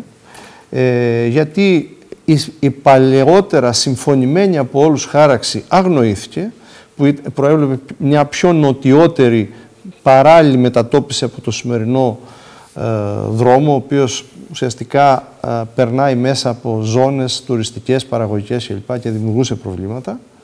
Αγνοήθηκε αυτό το πράγμα και επίσης έγινε μια πολιτική επιλογή να επιβληθούν δι, ε, διόδια και στους μόνιμους κατοίκους της Κρήτης, ενώ το σχέδιο το οποίο είχαμε δρομολογήσει εμείς προέβλεπε εξαίρεση. Υπήρχε μια πρόνοια εξαίρεσης των μονίμων κατοίκων και αυτών αλλά θα υπήρχαν και διόδια. Θα υπήρχαν, θα υπήρχαν διόδια στους επισκέπτες. Ε, πώς θα ε, μπορούσατε να τους διαχωρίσετε όμως εκεί, Εντάξει, τεχνικά γινόταν αυτό το πράγμα. Είχαν μελετηθεί οι φόρτοι. Είχε βρεθεί ότι ήταν βιώσιμο αυτό το μοντέλο χρηματοδότησης, ε, το οποίο θα ε, προφύλασε κατά κάποιο τρόπο και τους κατοίκους Κρήτης οι οποίοι αναγκάζονται σε καθημερινή βάση να μετακινηθούν ναι. από μια υπέρμετρη οικονομική ε, επιβάρηση. Τώρα, το θέμα είναι ότι ε, ε, καλός ή κακός έχει δρομολογηθεί αυτή τη στιγμή η, η πορεία του έργου. Ε, θεωρώ ότι στη φάση που, του επόμενου, την επόμενη φάση, δηλαδή του γεωμετρικού και του κατασκευαστικού σχεδιασμού, έχει τελειώσει ο λειτουργικός σχεδιασμός, μπορούν να γίνουν συμπληρωματικές και τροπο, τροποποιητικές παρεμβάσεις για να γίνει η βέλτιστη δυνατή χάραξη και να ληφθούν υπόψη οι ε, ενστάσεις των τοπικών κοινωνιών. Εάν αυτό δεν γίνει, θα έχουμε πρόβλημα. Θα έχουμε πρόβλημα διότι είναι ένα έργο στρατηγικής σημασίας και για την ανάπτυξη και για την ασφάλεια και για την ε, κοινωνική συνοχή στον τόπο μας και πρέπει, όπως όλα αυτά τα έργα, να έχει την ευρύτερη δυνατή συνένεση και στήριξη. Και το κυριότερο είναι ότι πρέπει να υπάρχουν και συνοδές παρεμβάσεις. Ε, είναι η πρόσβαση στο αεροδρόμιο των Χανίων, είναι η πρόσβαση από, το, από τη Σούδα προς το αεροδρόμιο, που αυτό αφορά πάρα πολύ τους κατοίκους του Ρεθύμνου, οι οποίοι σήμερα σχεδόν θέλουν τον ίδιο χρόνο για να πάνε από τη Σούδα στο αεροδρόμιο από ό,τι από το Ρέθμινο στη Σούδα. Ε, είναι οι περιφερειακοί ε, δρόμοι για να παρακαμφθεί η πόλη και να μην έχουμε ε, ε να μην έχουμε προβλήματα. Είναι κόμβοι, τρεις κόμβοι σημαντικοί που πρέπει να αναβαθμιστούν και να ενσωματωθούν. Και νομίζω ότι όλα αυτά μπορούν να λυθούν. Έχουμε καταθέσει μια πρόταση και στο Δημοτικό Συμβούλιο και στους φορείς τους τοπικούς του Ρεθύμνου να υπάρχει ένα παρατηρητήριο ε, το οποίο θα αποτελείται από τις εξέλιξης του έργου. Αυτό θα αποτελείται από το Τεχνικό Επιμελητήριο πρωτίστως, από τον επιστημονικό δηλαδή κόσμο, από την αυτοδιοίκηση και την πρωτοβάθμια και την περιφερειακή ε, από τις πολιτικές δυνάμεις, από τους εκπροσώπους των παραγωγικών ε, δυνάμεων του τόπου κλπ. κλπ. Έτσι ώστε δηλαδή. να παρακολουθούνται, να δούμε αν τηρούνται τα χρονοδιαγράμματα, να δούμε αν προκύπτουν προβλήματα και να επιλύονται αυτά όσο είναι δυνατόν με πιο ε, αποφασιστικό και συνενετικό τρόπο για να προχωρήσει αυτό το έργο και να ολοκληρωθεί επιτέλους. Κύριε Δουλουφάκη. Λοιπόν, έργα υποδομής. Τα ακούμε συχνά, Βλέπουμε διαμάχες, ιδίως για το ΒΟΑΚ, ποιος είχε την κυριότητα, ποιος είχε την πρωτοκαθεδρία, ποιος το ξεκίνησε, ποιος το συνέχισε, ποιος το σταμάτησε. Ξεχνάμε όμως την πολιτική ουσία. Η πολιτική ουσία είναι ότι θα έπρεπε να έχουμε ένα σύγχρονο ασφαλή δρόμο ή ένα σύγχρονο και ασφαλές αεροδρόμιο. Ναι, εδώ και πάρα πολλές δεκαετίες. Για ποιο λόγο δεν έχει γίνει; Είχαμε να κάνουμε με ανίκανες κυβερνήσεις όλα αυτά τα χρόνια, δεκαετίες. Δεν βρέθηκε ένας ικανός πολιτικός να φτιάξει ένα δρόμο ή να φτιάξει ένα αεροδρόμιο. Δεν είναι εκεί η ουσία, κύριε Συμβουλάκη. Η ουσία είναι ότι αυτά τα έργα υποδομής γίνονται τη δεδομένη στιγμή γιατί εξυπηρετούν συγκεκριμένα συμφέροντα. Όπως... Εξυπηρετούν συγκεκριμένα συμφέροντα ανάπτυξης μεγάλων ξενοδοχειακών ομίλων, τουριστικών ομίλων που έχουν σχέδια στην Κρήτη. Εξυπηρετούν σχέδια μεγαλοργολάβων γιατί που το έργο υπήρχαν πριν 10 χρόνια, 20. Τώρα αποφάσισε το κεφάλαιο να επενδύσει ουσιαστικά στην Κρήτη. Καταλάβατε; Γιατί όλα αυτά δεν γίνονται για χάρη του πολίτη. Και αυτό φαίνεται ποιος έχει την κυριότητα. Θέλω να πω δηλαδή, το τουριστικό προϊόν υπήρχε και στην Κρήτη πριν 20 χρόνια. Ξενοδοχεία υπήρχαν. Τώρα όμως αρχίσουν να γίνονται οι επενδύσεις. Ε, μεγάλο ξενοδόχοι επιδοτούμενοι και, και από το κράτος υπήρχαν. Γιατί δεν τους έκαναν Γιατί τώρα εξυπηρετεί την ανάπτυξη και την επένδυση του κεφαλαίου όσο αφορά την Κρήτη. Και το κεφάλαιο αυτή τη στιγμή θέλει ένα μεγάλο αεροδρόμιο. Ναι. Έτσι. Θέλει μεγάλους δρόμους. Το, οποίο όμως, το πρόβλημα όμως ποιο παραμένει. Ας πούμε ότι, OK, okay, ας δεχτούμε ότι εντάξει, εξυπηρετεί το κεφάλαιο, παρόλα αυτά εγώ θα έχω ένα ασφαλή δρόμο να πάω με το παιδί μου στα Χανιά. Το θέμα είναι όμως ποιος θα το πληρώσει. Σε ποιον θα ανήκει.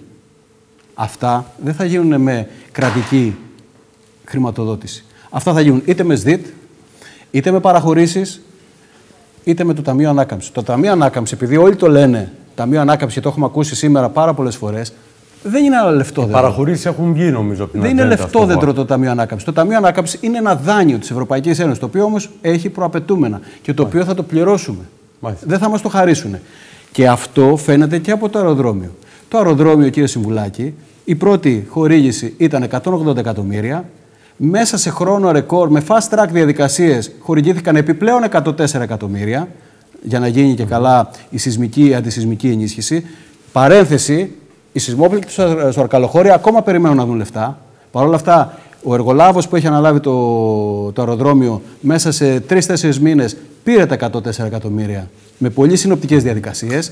Το αεροδρόμιο θα κοστίσει 520 εκατομμύρια, το οποίο θα το εκμεταλλεύεται ο εργολάβος και εμείς θα το πληρώσουμε. Θα το πληρώσει ο ελληνικός λαός για τουλάχιστον 30 χρόνια. Το ίδιο πράγμα ακριβώς θα γίνει και με το δρόμο. Όπως έχει γίνει και με την Αττική Οδό.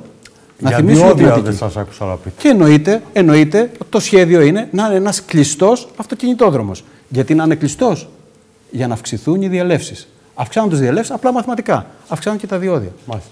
Καταλάβατε; Κύριε Άρα είναι ποιος θα το πληρώσει και σε ποιον θα ανήκει. Θα... Εκεί είναι το ζήτημα. Και για όλα τα έργα υποδομής.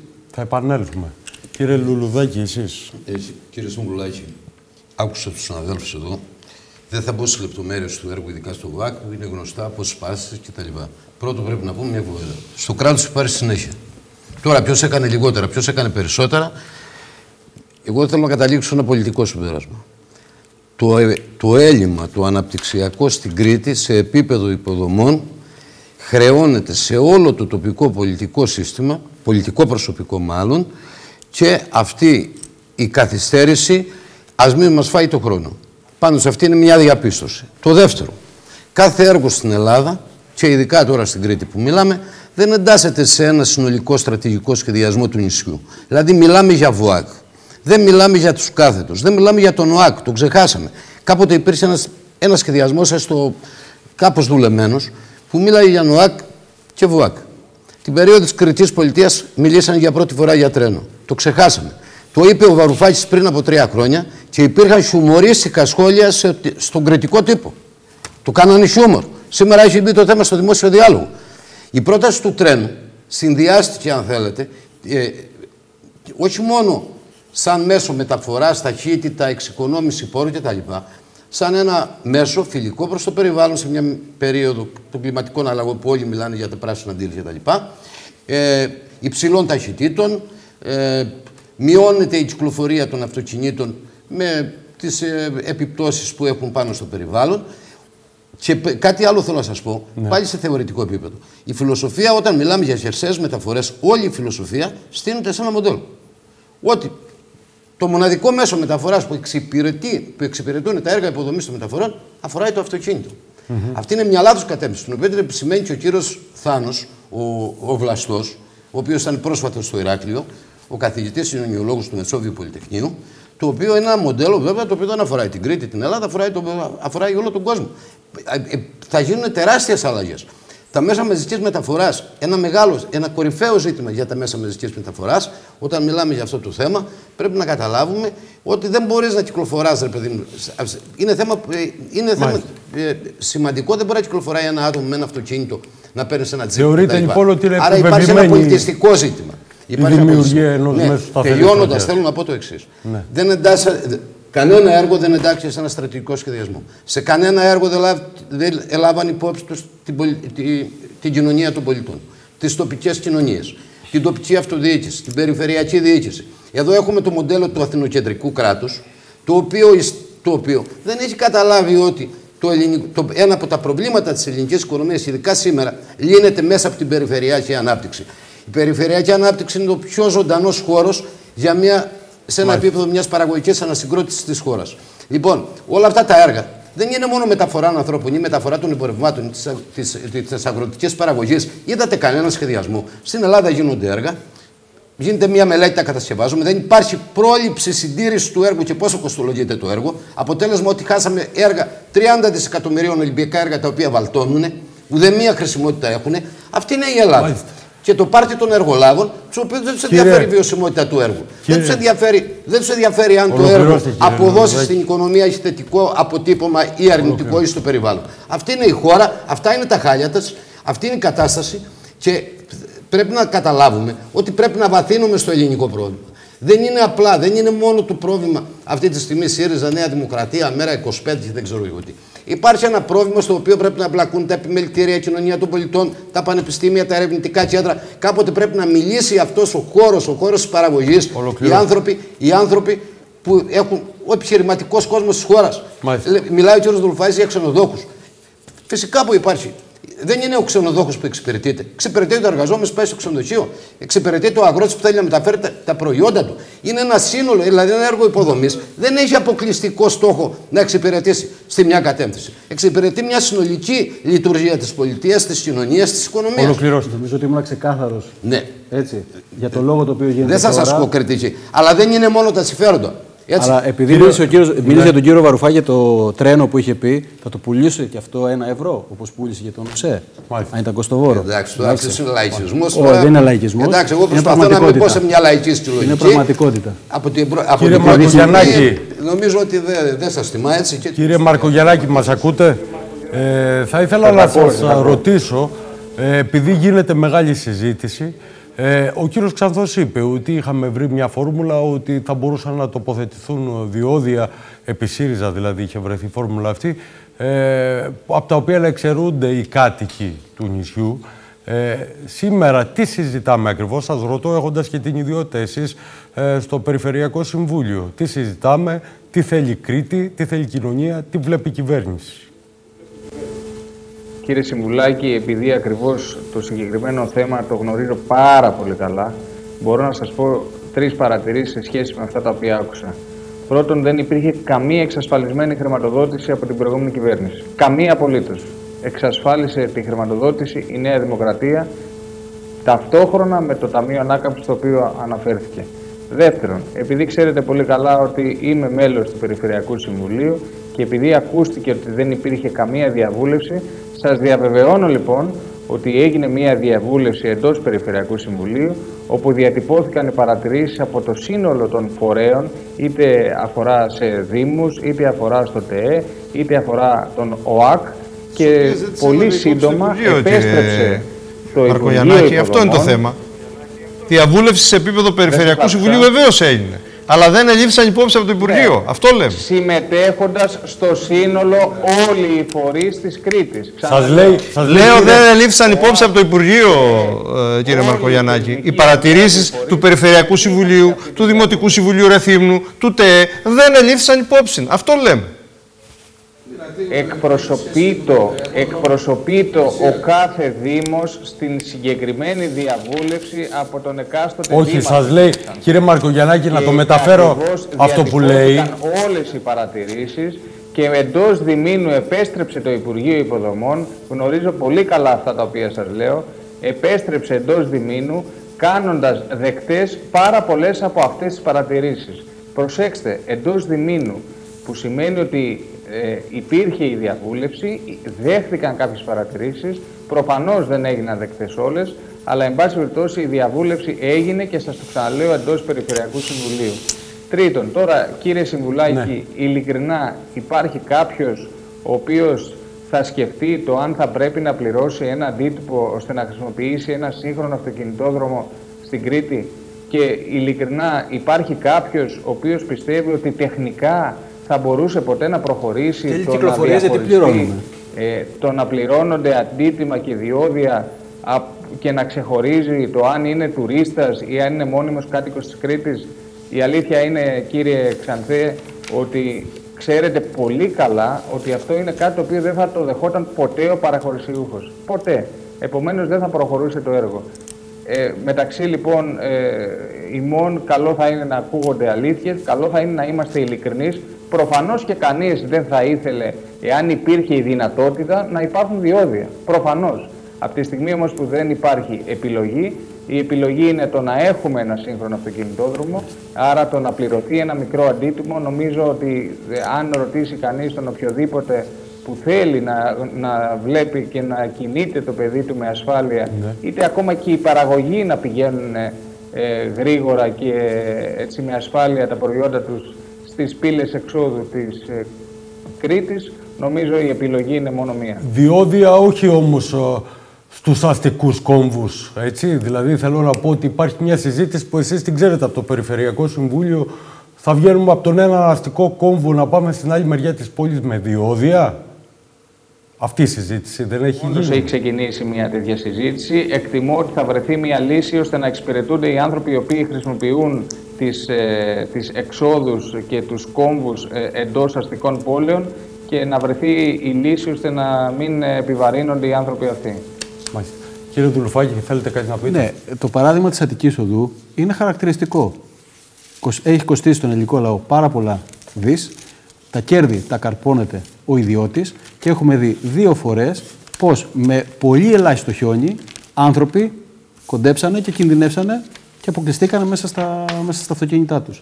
Αυτή είναι η λογική. Αυτή ακριβώς είναι η λογική. Ένα θανατηφόρο δυστύχημα στην Αττική Οδό, έστω ένα, θυμάστε ένα τροχαίο θανατηφόρο ατύχημα στην Αττική Οδό. Αυτό δεν είναι Έχουν υπάρξει, αλλά δεν είναι εκεί το θέμα. Εννοείται ότι θέλουμε ασφαλή αυτοκινητόδρομο. Δεν, δεν το αμφισβητεί κανένας αυτό. Το είπα όμως ακριβώς σε ποιον θα ανήκει, ποιος θα το πληρώσει και ποιος θα έχει τα κέρδη. Καταλάβατε; Αυτό είναι, αυτή είναι η διαφορά μας, κύριε Μαρτυριανάκη. Δεν είναι το να κινούμαστε με ασφάλεια σε ένα σύγχρονο αυτοκινητόδρομο; Σας είπα ότι αυτό είναι αδιαπραγμάτευτο και θα έπρεπε ήδη να υπάρχει εδώ και δεκαετίες, κύριε Μάρκο Γιαννάκη. Νομίζω ότι είναι, είναι, κανένας δεν θέλει και το αντίθετο. Δεν σε ποιον θα ανήκει όμως; και ποιος θα το πληρώσει; Στην Αττική Οδό που μείναν οι άνθρωποι μέσα με, με, με δύο-τρεις πόντους χιόνι. Ξέρετε γιατί μείνανε; Γιατί ο ιδιώτης δεν ήθελε να ξοδέψει λεφτά να βγάλει τα χιονιστικά. Αυτή είναι η, αυτή είναι η κατεύθυνση. Όχι μόνο η δική σας, ολονών που εξυπηρετούν την ίδια πολιτική. Μάλιστα.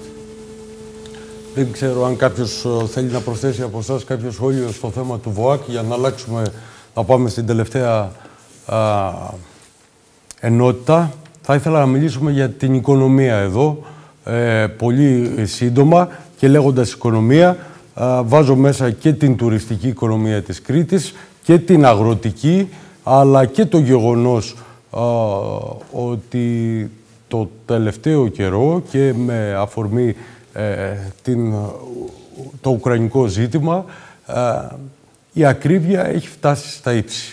Θα θέλατε να ξεκινήσετε σε αυτό το γύρο το σχολιασμό εσείς κύριε Λουλουδάκη; Ε, αναφερόμαστε στην οικονομία του νησιού βασικά, έτσι, όχι Βεβαίως. Ναι. Πού επηρεάζεται όμως. Ναι, ναι. Ε, κοιτάξτε να δείτε αυτό που πρέπει να επισημάνουμε να δούμε ορισμένα στοιχεία ε, τα οποία έχουν προκύψει τελευταία. Ο υψηλός δείκτης της ανεργίας στην Κρήτη. Αυτό το πράγμα είναι κάτι που εγώ τουλάχιστον δεν το περίμενα όταν είδα. Δεν θυμάμαι ακριβώς το νούμερο. Ε, καταγράφεται όμως. Ε, δεύτερο, πρέπει να δούμε την απασχόληση στον τουρισμό, ότι είναι μια ημιαπασχόληση στην ουσία. Δουλεύεις 6 μήνες το χρόνο και τους 5 μήνες ε, παίρνεις ένα ταμείο ανεργίας δεν, δεν, δεν σου καλύπτει, αν δεν υπάρχει μια συμπληρωματική δουλειά, δεν μπορεί να σου καλύψει τις οικογενειακές ανάγκες κτλ. Ε, η μονοκαλλιέργεια του τουρισμού επιφέρει έχει σημαντικές επιπτώσεις και το είδαμε το 2020, τη χρονιά της πανδημίας, όπου κλονίστηκε το ΑΕΠ του νησιού σημαντικά. Ε, άλλο θέμα είναι η διασύνδεση των άλλων κλάδων της παραγωγής με την κατανάλωση μέσα στα ξενοδοχεία, δηλαδή στον χώρο του τουρισμού, όπου η κατανάλωση ελληνικών προϊόντων διότι δεν υπάρχουν δηλαδή, δεν υπάρχει παραγωγή, είναι πάρα πολύ χαμηλή. Προσθέμενη αξία δηλαδή στους υπόλοιπους κλάδους είναι πάρα πολύ μηδαμινή. Ε, εάν δούμε ε, την οικονομία του νησιού πώς εξελίχθηκε τα τελευταία χρόνια μετά τον τουρισμό, ο τουρισμός αναπτύχθηκε σε βάρος των άλλων κλάδων της οικονομίας. Απορρόφησε σημαντικά κεφάλαια, ο πρωτογενής τομέας ουσιαστικά αφέθηκε, αφέθηκε στην τύχη του. Η έλλειψη αναπτυξιακής τράπεζας όπως ήταν η Αγροτική Τράπεζα στον στο αγροτικό τομέα. Η Αγροτική Τράπεζα παλιά δεν υπήρχε χρηματοδοτικό, δηλαδή ναι. περάσαν στις εμπορικές τράπεζες. Αυτό είχε τεράστιες επιπτώσεις. Και τώρα δεν βρίσκουν κόσμο να δουλέψει όμως. Τα... Θα φτάσουμε και εκεί. Θα φτάσουμε και εκεί. Τουριστικά. Ναι, όχι μόνο στα τουριστικά. Στον, ε, στον αγροτικό τομέα η κατάσταση είναι. Ε, δηλαδή οι άνθρωποι δεν μπορούν να, δεν μπορούν να προγραμματίσουν να ανανεώσουν καλλιέργειες. Θέλω να σταθώ σε ένα σημείο το οποίο αυτό το πράγμα είναι, θα έχει τεράστιες επιπτώσεις στην οικονομία του νησιού. Είναι το κομμάτι της κτηνοτροφίας η οποία πεθαίνει κυριολεκτικά. Η κτηνοτροφία βρίσκεται στα όρια της. Εδώ θέλω να σας κάνω μια αναφορά, μην μπούμε στα θέματα, θα μιλήσουν και οι άλλοι. Είναι γνωστά ε, ότι η οικονομία του νησιού, ε, τα διαρθρωτικά προβλήματα της οικονομίας. Θέλω να σα επισημάνω κάτι. Η Ακαδημία Αθηνών έκανε μια μελέτη, όχι Ακαδημία, συζήτηση από την Τράπεζα της Ελλάδας με θέμα κλιματική αλλαγή και επιπτώσεις στην ελληνική οικονομία. Πριν από 10 χρόνια. Μπορεί να τη δείτε οποιοδήποτε να μπει στο site της Τράπεζας Ελλάδας για να διαβάσει τις επιπτώσεις στην κλιματική αλλαγή στον ελληνικό χώρο, τις επιπτώσεις στην οικονομία. Είναι συγκλονιστικό. Έχει συγκλονιστικά στοιχεία. Το 2050 με 2070, εκεί το προσδιορίζει χρονικά, η Κρήτη, η μέση ώρα θερμοκρασίας το καλοκαίρι θα δημιουργούν τεράστια προβλήματα υγείας στους κατοίκους του νησιού, ε, περισσότερο αυτό που επισημαίνει είναι οι πολλές μέρες που η νύχτα θα έχει ψηλή θερμοκρασία. Mm. Κατάλαβε ο γιατρός, ο κύριος Κανθό, ξέρει τι σημαίνει αυτό. Ένα άλλο μοντέλο τουρισμού, τα, τα ξενοδοχεία θα είναι κλειστά το καλοκαίρι και το χειμώνα θα έχει τόσο ήπιες συνθήκες, θα έχουμε μεγαλύτερη διάρκεια τουρισμού το χειμώνα, δηλαδή μετατοπίζεται. Ναι. Οι κλιματικές συνθήκες που υπάρχουν στην Κρήτη σήμερα θα είναι στα παράλια της ε, Βόρειας Ελλάδας, στις Στράσεις κτλ. Ολοκληρώστε, κύριε. Ε, θέλω να ολοκληρώσω. Έχουμε τις συνέπειες κλιματικές αλλαγές αυτή τη στιγμή στην Ισπανία, τις οποίες βλέπουμε. Και τις επιπτώσεις στην παραγωγή της ε, στα εσπεριδοειδή, στο λάδι κτλ. Πέστε μου εδώ, σε αυτό το νησί, μελέτη 10 χρόνων, υπάρχει Τράπεζα Ελλάδας, δηλαδή αξίζει τον κόπο να τη διαβάσετε. Πέστε μου εδώ, ένα φορέα εδώ πέρα, κρατικό φορέα, το κράτος, την κυβέρνηση, την περιφέρεια Κρήτης, που έχει μελετήσει να δει αυτές τις επιπτώσεις που θα έρθουν με τέτοιες ταχύτητες κάποια στιγμή, που είναι πολύ αργά εάν δεν προετοιμαστούμε για τέτοιες αλλαγές, σημαντικές αλλαγές που έρχονται. Ε, θέλω να σας πω δηλαδή Πολύ ότι γρήγορα. το θέμα είναι ρευστό το θέμα της οικονομίας. Η διασύνδεση του νησού με τις θαλάσσιες μεταφορές έχει σημαντικό είναι αυτό. Πώς διασυνδέεται το νησί με τα νησιά για να γίνει μια διακίνηση εμπορευμάτων, επιβατών κτλ. Εάν φανταστούμε ότι στη ρωμαϊκή περίοδο ή στη μινοϊκή η σύνδεση του νησιού με την Κρήτη ήταν πολύ πιο απλή από ό,τι είναι σήμερα, μια σύνδεση που περνάς μέσω, μέσω του Πειραιά. Υπήρχε μια γραμμή Ηράκλειο, Θεσσαλονίκη, ακτοπλοϊκή γραμμή, και η οποία σταμάτησε. Μπορούσε ακόμα να δουλέψει, εφόσον δεν είχε, αν δεν είχε πολλούς πελάτες, μπορούσε να δουλέψει σαν άγωνη γραμμή. Υπάρχει το μεταφορικό ισοδύναμο το οποίο ποτέ δεν, ποτέ δεν αξιοποιήθηκε από το πολιτικό σύστημα. Ποτέ μα ποτέ. Νησιά έχουν κάνει ε, της Μεσογείου, της Φιλανδίας, της Σκωτίας έχουν κάνει θαύματα, έργα υποδομής από τη χρηματοδότηση αυτού του προγράμματος. Συμπυκνωμένα σας λέω ότι προλάβαμε σε αυτό το χρόνο, ε, στο, στο λίγο χρόνο. Θέλω να σας πω ότι ε, είναι θέμα σχεδιασμού, είναι θέμα αξιοποίησης, ε, ε, είναι θέμα πρόβλεψης αυτών των οποίων έρχονται των επιπτώσεων από το μεγάλο θέμα της κλιματικής αλλαγής. Πολυσύνθετα προβλήματα. Νομίζω ότι είμαστε στο σημείο 0. Το πολιτικό σύστημα ψάχνεται να στήσει μια φιέστα με 10 μπουλτόζες, οι οποίες δουλέψαν 10 λεπτά και είναι σταματημένες τώρα 2,5 μήνες για να μπορέσει να παίξει ένα επικοινωνιακό παιχνίδι ενώπιση των εκλογών. Αυτά τα πράγματα είναι, αν θέλετε, δείχνουν την ποιότητα του πολιτικού συστήματος που υπάρχει Κύριε τώρα Βελοφάκη. και ειδικά των κομμάτων εξουσίας. Ευχαριστώ. Μεγάλο ζήτημα, το οποίο όμως μπορεί να κλείσει μέσα στο πάλι τι πολιτική εξυπηρετούν τα κόμματα εξουσίας που έχουν κυβερνήσει την Ελλάδα τα τελευταία χρόνια. Εξυπηρετούν τα κέρδη των λίγων, των συγκεκριμένων. Μιλήσαμε, ας πούμε, για τον τουρισμό ο τουρισμός, η βαριά βιομηχανία, δισεκατομμύρια κέρδη για τουριστικούς ομίλους, ταυτόχρονα όμως εντατικοποίηση της δουλειάς, καθόλου εργασιακά δικαιώματα στα ξενοδοχεία, έχει καταργηθεί η συλλογική σύμβαση στα ξενοδοχεία εδώ και 12 χρόνια, 10 ή 12 δεν θυμάμαι, δεν έχει επαναφερθεί. Πρόσφατα στη διαπραγμάτευση που κάνανε οι ξενοδοχοϊπάλληλοι, οι ξενοδόχοι ήταν ανυποχώρητοι στο δεκάωρο, το οποίο γνωρίζουμε όλοι ότι αυτό. Πέτυχαν την τοπική όμως εδώ. Πώς; Πέτυχαν την τοπική, λέω εδώ. Ναι, ε, το, το δεκάωρο, το οποίο ξέρουμε ότι δεν ισχύει όμως, απλά θέλουν την νομιμοποίηση. Χαμηλή μισθή, ε, χωρίς ρεπό, δουλεύουν πέντε μήνες το χρόνο για να ζήσουν 12. Άρα ο κόσμος δεν μπορεί να το δεχτεί αυτό το πράγμα. Και βλέπουμε και τη διαφορά για την αγροτική παραγωγή. Το ότι οι συνεταιρισμοί δεν υπάρχουν πλέον είναι γιατί το ίδιο το κράτος αποφάσισε και τους έκανε να λειτουργούν με ιδιωτικονομικά πάλι κριτήρια. Δεν υπήρχε κανένας κρατικός σχεδιασμός. Γιατί να μην υπάρχουν λοιπάσματα, εκείνη και η διαφορά του ΚΚΕ σε σχέση με τα άλλα κόμματα. Κοινωνικοποιημένα μέσα παραγωγής. Λοιπάσματα κρατικά, παραγωγή, φτηνά, οικονομικά. Το νερό. Το νερό είναι πανάκριβο. Το πετρέλαιο, ο αγρότης δεν μπορεί. Η ακρίβεια έχει πάει στα ύψη.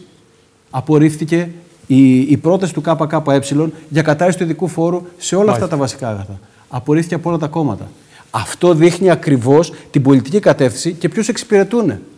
Δεν εξυπηρετούν τον, τον, τον ξενοδοχό υπάλληλο, δεν εξυπηρετούν τον αγρότη. Να, να θυμίσω ότι η Σουλτανίνα ήταν το χρυσάφι της Κρήτης. Αυτή τη στιγμή δεν υπάρχει πουθενά. Γιατί, Γιατί αποφασίσαμε και δεχτήκαμε τις οδηγίες της Ευρωπαϊκής Ένωσης. Και ένα προϊόν τόσο εξαιρετικό όσο η Σουλτανίνα δεν υπάρχει. Γιατί έχουμε κάνει συμφωνίες διακρατικές. Μάλιστα. Κύριε Ξανθέ. Υπάρχουν, στο κομμάτι της οικονομίας υπάρχουν δύο θέματα. Το ένα είναι η άμεση ανακούφιση των πολιτών από την επιβάρηση της ακρίβειας και αυτό θέλει έλεγχο τιμών, στήριξη του εισοδήματος και ρύθμιση των χρεών, του ιδιωτικού χρέους, το οποίο αναφέρθηκα προηγουμένως. Ε, έχουμε πει τι πρέπει να γίνει για τον έλεγχο των τιμών. Θέλει δραστική παρέμβαση στη διαμόρφωσή τους και όχι ανεξέλεκτη λειτουργία της αγοράς, κερδοσκοπία, υψηλό, υψηλές τιμές, υψηλά φορολογικά έμεσα, ε, ε, ε έσοδα από έμεσους φόρους, 4,5 δις παραπάνω ήταν το 2022 και μάλιστα διάβαζα προχθές, γιατί επέρεται η κυβέρνηση, ότι έχει μειώσει τη φορολογική επιβάρηση των πολιτών. Ξέρετε πόσο είναι τα επιπλέον φορολογικά έσοδα από άμεσους και έμεσους φόρους ε, αυτή την περίοδο. Συν 2,8 δισεκατομμύρια. Άρα όλη αυτή η συζήτηση ότι μείωσε φόρους ο κ. Μητσοτάκης είναι εντελώς εκτός πραγματικότητας. Ο κόσμος λοιπόν έχει πιεστεί πάρα πολύ, η αγοραστική του δύναμη έχει συρρυκνωθεί, το διαθέσιμο εισόδημα εξαντλείται στο πρώτο 20ήμερο του μήνα και τις υπόλοιπες μέρες ο κόσμος δεν μπορεί να καλύψει στοιχειώδεις ανάγκες. Άρα το ένα είναι η ανακούφιση και το άλλο είναι το παραγωγικό μοντέλο. Εκεί νομίζω ότι πρέπει να υπάρξει μια σοβαρή αλλαγή στρατηγικής. Το παλιό μοντέλο, ο λίγο πρωτογενής τομέας, ο οποίος μάλιστα τον τελευταίο καιρό έχει πρόβλημα βιωσιμότητας, όπως ήδη υπόθηκε, λόγω της έκρηξης του κόστου παραγωγής. Και από τα λοιπάσματα, και από τα φυτοφάρμακα, και από τα αγροεφόδια, και από παντού. Ε, ο λίγων, αγρο... ο λίγων πρωτογενή τομέα, τουρισμό και κατασκευές και real estate, αυτό το μοντέλο έχει... δεν προσφέρει πια βιωσιμότητα και ανθεκτικότητα. Νομίζω ότι πρέπει να υπάρξει μια σοβαρή παρέμβαση στην διασύνδεση του πρωτογενούς τομέα με τον τουρισμό. Το κουβεντιάζουμε χρόνια, δεκαετίες θα έλεγα, ε, να ενσωματωθούν δηλαδή τα εξαιρετικής ποιότητας ε, τοπικά προϊόντα ε, στο παρεχόμενο τουριστικό προϊόν. Να Αυτό, κατανολώνονται. Βεβαίως, δηλαδή. βεβαίως, και να αποκτήσει προστιθέμενη αξία η, η, η πρωτογενής παραγωγή. Αυτό θέλει σχέδιο και θέλει ε, μέθοδο και θέλει κίνητρα και θέλει διασύνδεση και των ενισχύσεων με την πραγματική παραγωγή, με τα ποιοτικά προϊόντα. Ε, ε, η νέα ΚΑΠ θα δημιουργήσει επιπλέον δυσκολίες ε, μειώνονται οι άμεσες ενισχύσεις με την αφαίρεση του πρασινίσματος. Ε, οι παραγωγοί δεν έχουν ε, προετοιμαστεί ε, με συνεταιριστικά σχήματα, με οικολογικά σχήματα όπως προβλέπει η νέα ΚΑΠ, ε, με ομάδες παραγωγών για να αντιμετωπίσουν τις νέες προκλήσεις. Υπάρχει περίπτωση να έχουμε δραστική μείωση της τάξης του 40% των άμεσων ενισχύσεων. Αυτό θα επιτείνει τα προβλήματα βιωσιμότητας και νομίζω ότι πρέπει να δοθεί και η προοπτική της αυξημένης μεταποιητικής δραστηριότητας στον πρωτογενή τομέα και υπάρχει και ένα νέο πεδίο τελείως καινούριο κατά την άποψή μου που είναι η οικονομία της φροντίδας. Η, η πανδημία ανέδειξε τα μεγάλα κενά στη φροντίδα ιδιαίτερα ευάλωτων ομάδων του πληθυσμού, ηλικιωμένων, ανθρώπων που δεν έχουν υποστηρικτικό περιβάλλον, που έχουν ε, αυξημένες ανάγκες και ε, αυξημένη ευαλωτότητα. Ε, εκεί υπάρχει διεθνώς μια νέα αναδυόμενη οικονομία. Ναι. Θέλει ε, προσπάθεια και από δημόσιους φορείς και από ε, το, το κομμάτι της κοινωνικής οικονομίας. Πώς λειτουργεί αυτό, πρακτικά πείτε μας. Κοιτάξτε, ε, χρειάζεται πια αυτό το οποίο δεν μπορεί να παρέχει η οικογένεια. Η οικογένεια Ναι. μέχρι τώρα φρόντιζε τα αδύναμα μέλη της. Αυτός, αυτό το μοντέλο έχει ολοκληρώσει τον κύκλο του τα τελευταία χρόνια. Έχουμε άλλου τύπου πια οργάνωση της, οικο- ε, της οικογένειας και νομίζω ότι αυτές οι νέες ανάγκες, γιατί έχουμε και πληθυσμό ο οποίος ζει περισσότερα χρόνια, έχει νοσήματα φθοράς, άρα έχει περισσότερες ανάγκες φροντίδας, αυτό πρέπει να καλυφθεί μέσα από μια συνέργεια πια του Εθνικού Συστήματος Υγείας, του κοινωνικού κράτους, της αυτοδιοίκησης και των υπηρεσιών τους και της αλληλέ... κοινωνικής και αλληλέγγυας Μάλιστα. οικονομίας. Να δώσουμε δηλαδή δυνατότητες σε συνεταιριστικά σχήματα να δραστηριοποιηθούν σε αυτό το πεδίο, να αξιοποιήσουν νέους επιστήμονες, φροντιστές για να, Να υπάρξει παρέχουν απασχόληση να και υπάρξει επαγγελματιών. απασχόληση και όλα αυτά βεβαίως προϋποθέτουν, Και να παρέχει τη φροντίδα σε προϋποθέτουν και ανθρώπους. μια σοβαρή αναβάθμιση ε, των ε, συνθήκων ε, ε, αμοιβής και εργασίας ε, σε όλους τους χώρους, ιδιαίτερα στον τουριστικό τομέα. Έχει δίκιο ο κ. Δουλφάκης και στον χώρο της εστίασης. Το Ολοκληρώστε, πυρηνικό κύριε Ξαδέ. πρόβλημα της έλλειψης εργα- εργατικών χεριών αυτή την περίοδο σε αυτούς τους τομείς είναι αυτό. Είναι οι δύσκολες, επίπονες και εξουθενωτικές συνθήκες εργασίας χωρίς την αντίστοιχη ε, αποζημίωση και ε, α- αμοιβή με συνθήκες γαλέρας πάρα πολλές φορές. Αυτό πρέπει να σταματήσει αν θέλουμε πραγματικά να έχουμε αυτό που λέμε δίκαιη, δηλαδή ε, κοινωνικά, να, να διαχέεται το όφελος ανάπτυξης ε, ευρύτερα στην κοινωνία και να μην είναι στα χέρια λίγου. Μάλιστα. Κύριε Μαρκογιαννάκη, Κύριε Συμβουλάκη, ειλικρινά ως νέος άνθρωπος θλίβομαι και απογοητεύομαι από την προσπάθεια υιοθέτησης των συναδέλφων αυτής της καταστροφολογίας. Κύριε Δουλουφάκη, κύριε Λουδάκη, με συγχωρείτε, η χώρα δεν είναι στα βράχια. Η πραγματικότητα είναι διαφορετική. Η χώρα αναπτύσσεται το 2022 με ρυθμούς ανάπτυξης 5,9 μέσος όρος διπλάσιος από τις υπόλοιπες ευρωπαϊκές χώρες. Η χώρα έχει μειώσει την ο ανεργία λαός, από όταν κύριε την Μαρκογιαννάκη. παρέλαβε η Νέα Δημοκρατία στο, εφ- σε Την 7 ανάπτυξη. μονάδες, που σημαίνει 300 Όλη την νιώθουμε στις τσέπες νέες μας. θέσεις απασχόλησης. Η χώρα έχει 49%, α- έχει 9% αύξηση στις εξαγωγές. Έχει μια πολύ μεγάλη αύξηση στις επενδύσεις. Έχει Ζούμε τρεις πλουσιοπάροχα. φορές αυξήσει το βασικό μισθό από τα 650 ευρώ στα 780. Έχει αυξήσει τις συντάξεις. Έχει μειώσει τις φόρους κατά πολύ, έχει μειώσει 50 φόρους. Και επειδή πριν ακούστηκε περί, ε, μα- μεξι- με- για το μαξιλαράκι ότι η Νέα Δημοκρατία είχε την τύχη να παραλάβει ένα μαξιλαράκι 37 δισεκατομμυρίων. Να σας διορθώσω λοιπόν κύριε Ξανθέ και να σας πω ότι το μαξιλαράκι το οποίο παραδίδει σήμερα είναι 39 δισεκατομμύρια. Είναι περισσότερο από αυτό το παράλαβα και ξέρετε γιατί; Γιατί το μαξιλαράκι το οποίο εσείς παραδώσατε είναι προϊόν και είναι αποτέλεσμα της υπερφορολόγησης που κάνατε στη μεσαία τάξη. Το δικό μας μαξιλαράκι, το μαξιλαράκι που αφήνει η Νέα Δημοκρατία, είναι αποτέλεσμα της αύξησης των επενδύσεων, είναι αποτέλεσμα της αύξησης των εξαγωγών, είναι αποτέλεσμα της καλής οικονομικής πορείας που έχει η χώρα. Και επειδή αναφερθήκατε και στα 2,8 δισεκατομμύρια σε σχέση με την αύξηση των ε, φόρων και θα έπρεπε να είστε λίγο πιο προσεκτικός σε αυτό, τα 2,8 δισεκατομμύρια τα οποία είναι περισσότερα, είναι περισσότερα γιατί έχουμε μεγαλύτερη ανάπτυξη, Ο λαός πεινούσε γιατί και έχουμε πεινάει. περισσότερα τουριστικά έσοδα, γιατί έχουμε αύξηση των εξαγωγών, γιατί έχουμε μεγαλύτερους τζίρους και έχοντας μεγαλύτερους τζίρους ε, φορολογούνται περισσότερο επιχειρήσεις. Αυτό είναι το αποτέλεσμα της αύξησης του νούμερα τα οποία Μάλιστα. αναφερθήκατε. Άρα, καταλήγοντας, Είναι κύριε εικονική Συμβουλάκη, πραγματικότητα αυτά που προφανώς λέτε, και δεν είναι όλα Κύριε τέλεια στη Μαρκογιαννάκη, η χώρα. εικονική πραγματικότητα Προφανώς που και έγιναν δεν λάθη. έχει καμία σχέση με την Προφανώς καθημερινότητα η των ακρίβεια ανθρώπων. την οποία αντιμετωπίζουμε είναι εδώ και είναι γεγονός. Όμως αυτή τη στιγμή έχουμε μια κυβέρνηση η οποία αντιμετωπίζει την ακρίβεια με τον πλέον σοβαρό τρόπο και όταν ένας πληθωρισμός ο οποίος ε, είναι ένα, ένα πρόβλημα το οποίο ταλανίζει το σύνολο της Ευρώπης και είναι εισαγόμενος έχοντας λοιπόν περιορισμένα πράγματα να κάνεις αυτό στο οποίο στοχεύεις και πρέπει να στοχεύεις Μάλιστα. είναι να αυξήσεις την αγοραστική δυνατότητα του καταναλωτή. Αυξάνοντας λοιπόν τους μισθούς και αυξάνοντας τις συντάξεις. Κύριε Μαρκογιαννάκη, θέλω να κάνω μια τελευταία ερώτηση σε όλους για να καθοδηγήσω στους τίτλους αρχής το θέμα με την ε, Τουρκία. Θέλω να σας ρωτήσω αυτό. Βρισκόμαστε λίγα 24 ώρα πριν να ανοίξουν οι κάλπες εκεί. Βλέπουμε ότι υπάρχουν εξελίξεις, αποχωρήσεις υποψηφίων που ενδεχομένως να κρίνουν διαφορετικά το αποτέλεσμα, αυτό δηλαδή που πολλοί μπορεί ε, να προβλέπουν.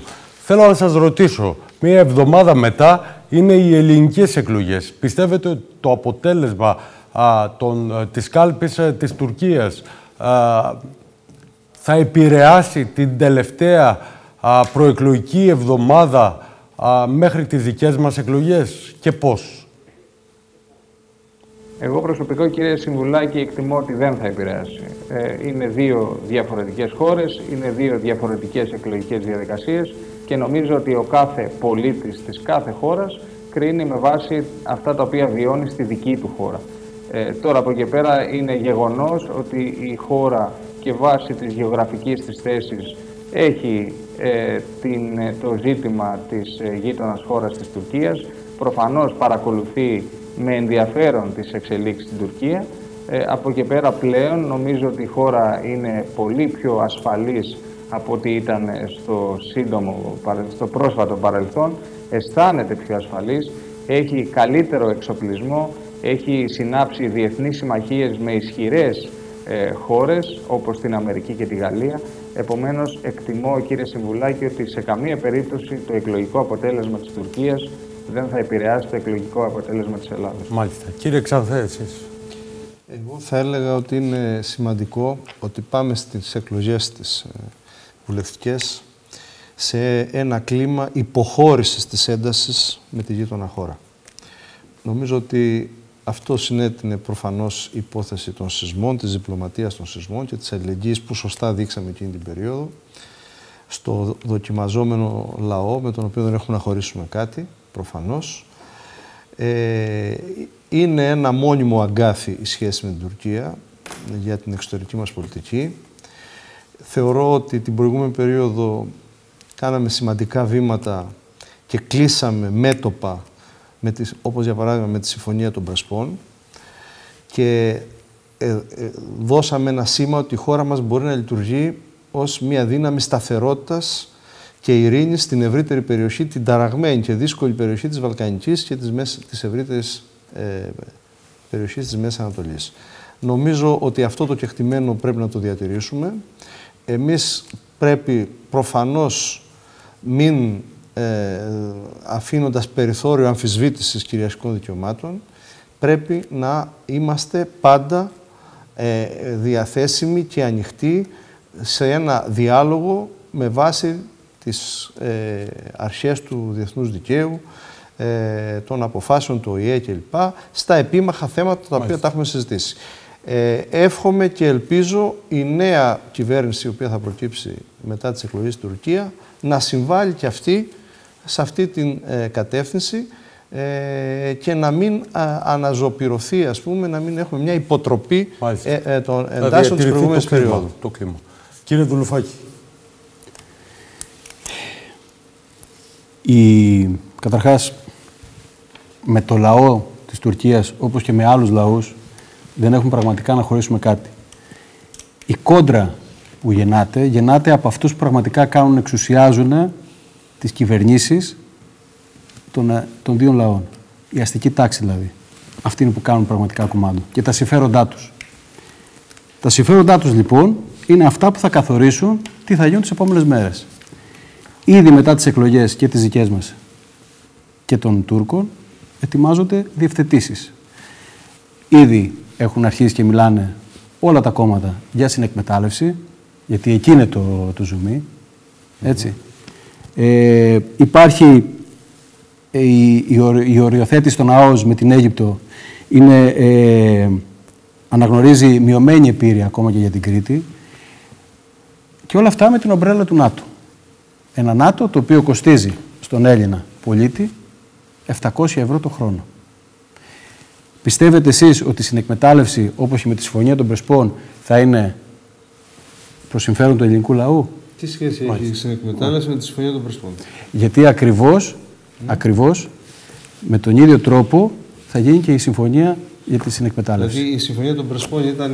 Με εκχώρηση εθνικά- δικαιωμάτων δηλαδή. εθ- εθνικά Εχώρηση- επιζήμια- εχώρηση- εχώρηση εθνικά δικαιωμάτων, επιζήμια βέβαια. ήτανε; Βέβαια. Εθνικά επιζήμια ήταν η συμφωνία των Πρεσπών; Ναι. Είναι θέση του Κουκουέ αυτή; Είναι αυτά που λέτε, ρε παιδιά. Εντάξει. Δηλαδή ενδίδεται τώρα στην πατριδοκαπηλεία. Για να Όχι, καταλάβω. όχι, η θέση του Κουκουέ Είπαμε ήταν να έχετε- συγκεκριμένη. Είπαμε να Ήταν κάνετε συγκεκριμένη. κριτική σε όλους, αλλά ε, εντάξει τώρα, ε, έλεος δηλαδή. Έλεος. Δηλαδή δώσαμε μία, ε, έγινε μια παρέμβαση εξαιρετικής σημασίας και υπευθυνότητας. Θωρακίσαμε τα βόρεια σύνορά μας. Δημιουργήσαμε σχέσεις αλληλεγγύης και συνεργασίας με μια γειτονική χώρα που, με την οποία δεν- επί της ουσίας δεν είχαμε να χωρίσουμε τίποτα. Εννοείται δεν Χωρίς αναχωρήσουμε να, τίποτα. να υπάρξει το παραμικρό πρόβλημα στο, στο εθνικό συμφέρον. Υπάρχει Πήραμε- γεωγραφικός προσδιορισμός. Και... Τι; Υπάρχει γεωγραφικός Φυσικά προσδιορισμός. υπάρχει. Αυτό είναι λάθος. Θα ανοίξει μεγάλη Το σωστό, συζήτηση το τώρα. σωστό, Μην το ναι, ανοίξουμε. να Σας μην το παρακαλώ. ανοίξουμε. Το σωστό είναι ο προσδιορισμός Σλάβο-Μακεδόνες. Αυτό έλεγε το ΚΚΕ ήδη από τη δεκαετία του 90, αυτό υποστηρίζουν και τώρα. Μάλιστα. Εντάξει. Ολοκληρώσατε κύριε Δουλουφάκη. Θα πάμε στον κύριο Λουλουδάκη. Πιστεύετε ότι οι εκλογές της Τουρκίας τη Δευτέρα, Το παρακολουθώ. τελευταία εβδομάδα θα σημάνουν αλλαγές Ε, και θα μας επηρεάσουν; Διαφωνώ με την, την τοποθέτηση του προηγούμενου, δηλαδή π- και του κυρίου Μαρκογιαννάκη κυρίως, ο οποίος αναφέρεται ότι δεν επηρεάζει το αποτέλεσμα. Το αποτέλεσμα των εκλογών σαφώς θα επηρεάσει. Και τι θα επηρεάσουν; Πρώτον, το πρώτο θέμα είναι σε μια πιθανή νίκη των κεμαλιστών, εάν θα υπάρξει ομαλή μετάβαση. Αμφισβητείται από πάρα πολλούς κύκλους. Η κατάσταση είναι έκρηθμη στην Τουρκία. Στην Κωνσταντινούπολη γίνονται τεράστια επεισόδια προτέσεις του, σε μια εκδήλωση του Ιμάμογλου και τα λοιπά, τι οποίε αποκαλεί ο Ερντογάν προβοκάσει τα λοιπά. Δηλαδή ξεκίνησε ένα παιχνίδι πολύ παράξενο. Στην περίπτωση που οι κεμαλιστές πάρουν την εξουσία, μιλάμε μια στροφή πολύ γρήγορη προς τη Δύση την Ευρωπαϊκή Ένωση. Αυτό είναι το στρατηγικό σχέδιο αυτή τη στιγμή των κεμαλιστών στην Τουρκία. Άρα, οι ρογμές που είχε υποστεί η Δύση, το ΝΑΤΟ, σε σχέση με τις πολιτικές, αυτές Ναι. τι πολιτικές του Ερντογάν, πολυδιάστατη πολιτική, με όλους καλά, με όλους κακά κτλ., αυτό πρέπει να τελειώσει. Ε, ήταν μια πολιτική τυχοδιοκτική, η οποία δεν απέφερε πολλά πράγματα. Η οικονομία της Τουρκίας είναι στα τάρταρα. Και όταν μιλάμε για οικονομία Τουρκίας, δεν πρέπει να, πρέπει να λαμβάνουμε δύο πράγματα υπόψη μας. Πρώτον, ότι είναι ένα από τα σημαντικότερα μέλη του ΝΑΤΟ σε μια γεωστρατηγική θέση ύψης της σημασίας και το δεύτερο, ότι οι μεγάλες επενδύσεις, εγώ έχω πάει πάρα πολλές φορές, μιλάμε έναν απέραντο εργοστάσιο, είναι απίστευτα αυτά, αυ- δηλαδή το Εδώ τι θα βιομηχανικό συμβεί τη μοντέλο. βδομάδα αυτή, λέω. Τη Ορίστε. βδομάδα αυτή τι θα συμβεί μετά Θα σας από πω. τις- Ε, σας λέω αν υπάρξει μετάβαση. Αυτό είναι ένα, ένα σοβαρό θέμα. Ναι. Ε, ομαλή. Αυτό μας επηρεάζει άμεσα αν υπάρχει ομαλή μετάβαση ή όχι. Αν υπάρχει μετάβαση, ε, αν υπάρχει νίκη των κεμαλιστών, μιλάμε για μια στροφή ραγδαία προς τη Δύση. Η στροφή ραγδαία προς τη Δύση σημαίνει ότι πρέπει να κλείσει το ζήτημα των... Θα μας ε, επηρεάσει και στις θα δικές μας επηρεάσει. εκλογές εδώ. Το και ο κλίμα θα επηρεασμός, επηρεαστεί, λέω. Ναι. ο επηρεασμός, θέλω να σας πω κάτι συγκεκριμένα. Ο επηρεασμός θα είναι άμεσα, θα έχουμε πολύ γρήγορες αποφάσεις που αφορούν και το Αιγαίο και την ΑΟΣ και το Κυπριακό. Και η κατέμφθηση αυτή τη στιγμή που έχει επιλέξει το πολιτικό σύστημα στη χώρα, αυτά φαίνεται από τις δηλώσεις του κ. Μπακοζιάννη, φαίνεται από πολλές δηλώσεις, φαίνεται από την επίσκεψη να πούμε, του κ. Σόλτς με τον Τζίπρα Ναι. ε, τις τελευταίες ημέρες, όπου υπόθηκε ότι ένα από τα σημαντικότερα θέματα ήταν οι λειτουργικές σχέσεις. Αναλαμβάνει πρωτοβουλίες αυτή τη στιγμή οι ΗΠΑ και η Γερμανία, πολύ γρήγορα μπήκαν στο παιχνίδι, προκειμένου να κλείσουν αυτό το μέτωπο Ελλάδα-Τουρκία. Σε, σε κάθε περίπτωση, λαμβάνοντας υπόψη τα δεδομένα και το ρόλο της Τουρκίας αυτή τη στιγμή, πρέπει να, να καταλάβουμε ότι το πολιτικό σύστημα είναι έτοιμο να κάνεις σημαντικότατες υποχωρήσεις όσον αφορά τα, συμφέροντα, τα εθνικά συμφέροντα της χώρας. Και Μάλιστα. σε επίπεδο Άζου και σε επίπεδο υφαλοκρηπίδας. Κάποια θέματα θα παραπευθούν στο, δι- στο Διεθνές Δικαστήριο της Χάγης, κάποια θα ληφθούν με απευθείας διαπραγματεύσεις και θα στηθεί ένα αφήγημα ε, το οποίο ουσιαστικά θα είναι μια υποχώρηση της χώρας όπως έγινε με την ΑΟΣ στην Αίγυπτο, όπως έγινε με την ΑΟΣ με την Ιταλία. Σε κάθε περίπτωση η Ελλάδα ήταν χαμένη. Τώρα, βέβαια, το μεγάλο ζήτημα είναι το Ολοκλήρωσε. εξής. Τι θα γίνει με το Τουρκό Λιβάνι, ε, Λιβιακό ε, μνη- μνημόνιο. Συνεργασία με το. Με, Ψευδομνημόνιο Ακριβώς. αυτό. Αυτό. είναι ένα μεγάλο θέμα, ένα μεγάλο αγκάθι. Το πώς θα το χειριστούν οι Κεμαλιστέ όταν έρθουν, τουλάχιστον από ό,τι φαίνεται από το πρόγραμμά τους, ούτε σκοπούν, δεν έχουν καμία αναφορά Μάλιστα. σε αυτό το επίπεδο. Είναι ένα πολύπλοκο Ολοκληρώστε θέμα. γρήγορα. Ούτως ή άλλως, οποιοδήποτε αποτέλεσμα θα επηρεάσει. Μπορεί να μην επηρεάσει το εκλογικό αποτέλεσμα στη χώρα, αλλά θα επηρεάσει πάρα πολύ την πολιτική και Άμεσα την τις κατάσταση στην εξελίξει Ελλάδα. δηλαδή λέτε. Ορίστε. Οι εξελίξεις εδώ θα Ε, βέβαια, οι επηρεάσουν άμεσα. εξελίξεις, κάθε εξέλιξη στην Τουρκία επηρεάζει άμεσα. Έχουμε το Κυπριακό το μείζον θέμα. Μάλιστα. Δηλαδή και μόνο το Κυπριακό το οποίο καρκινοβατεί αυτή τη στιγμή, ένα άλλο το θέμα χρόνια, Πρέπει να δεκαετίες. κλείσουμε κύριε Λουλουδάκη, πρέπει να κλείσουμε. Πρέπει Δεν- να κλείσουμε, είναι Ναι, ναι, δεν μία υπάρχει παρά. πρόβλημα. Δεν υπάρχει Είχαμε μία πρόβλημα, παρά. Ε, λοιπόν, θα ήθελα να σας ευχαριστήσω όλους, να ευχηθώ στον καθένα ξεχωριστά καλή επιτυχία. Κύριε Μαρκογιαννάκη, σας ευχαριστώ πολύ για την παρουσία σας από το στούντιο Χανίων. Σας εύχομαι καλή επιτυχία προσωπικά, προσωπικά και σε εσάς κύριε πάρα Ξανθέ. πολύ. Ε, κύριε Δουλουφάκη και σε εσάς προσωπικά καλή επιτυχία και σε εσάς κύριε Λουλουδάκη. Ευχαριστώ πολύ. Να σας ε, ευχαριστήσω όλους που μας παρακολουθήσατε ως αυτή την ώρα. Καλό σας βράδυ.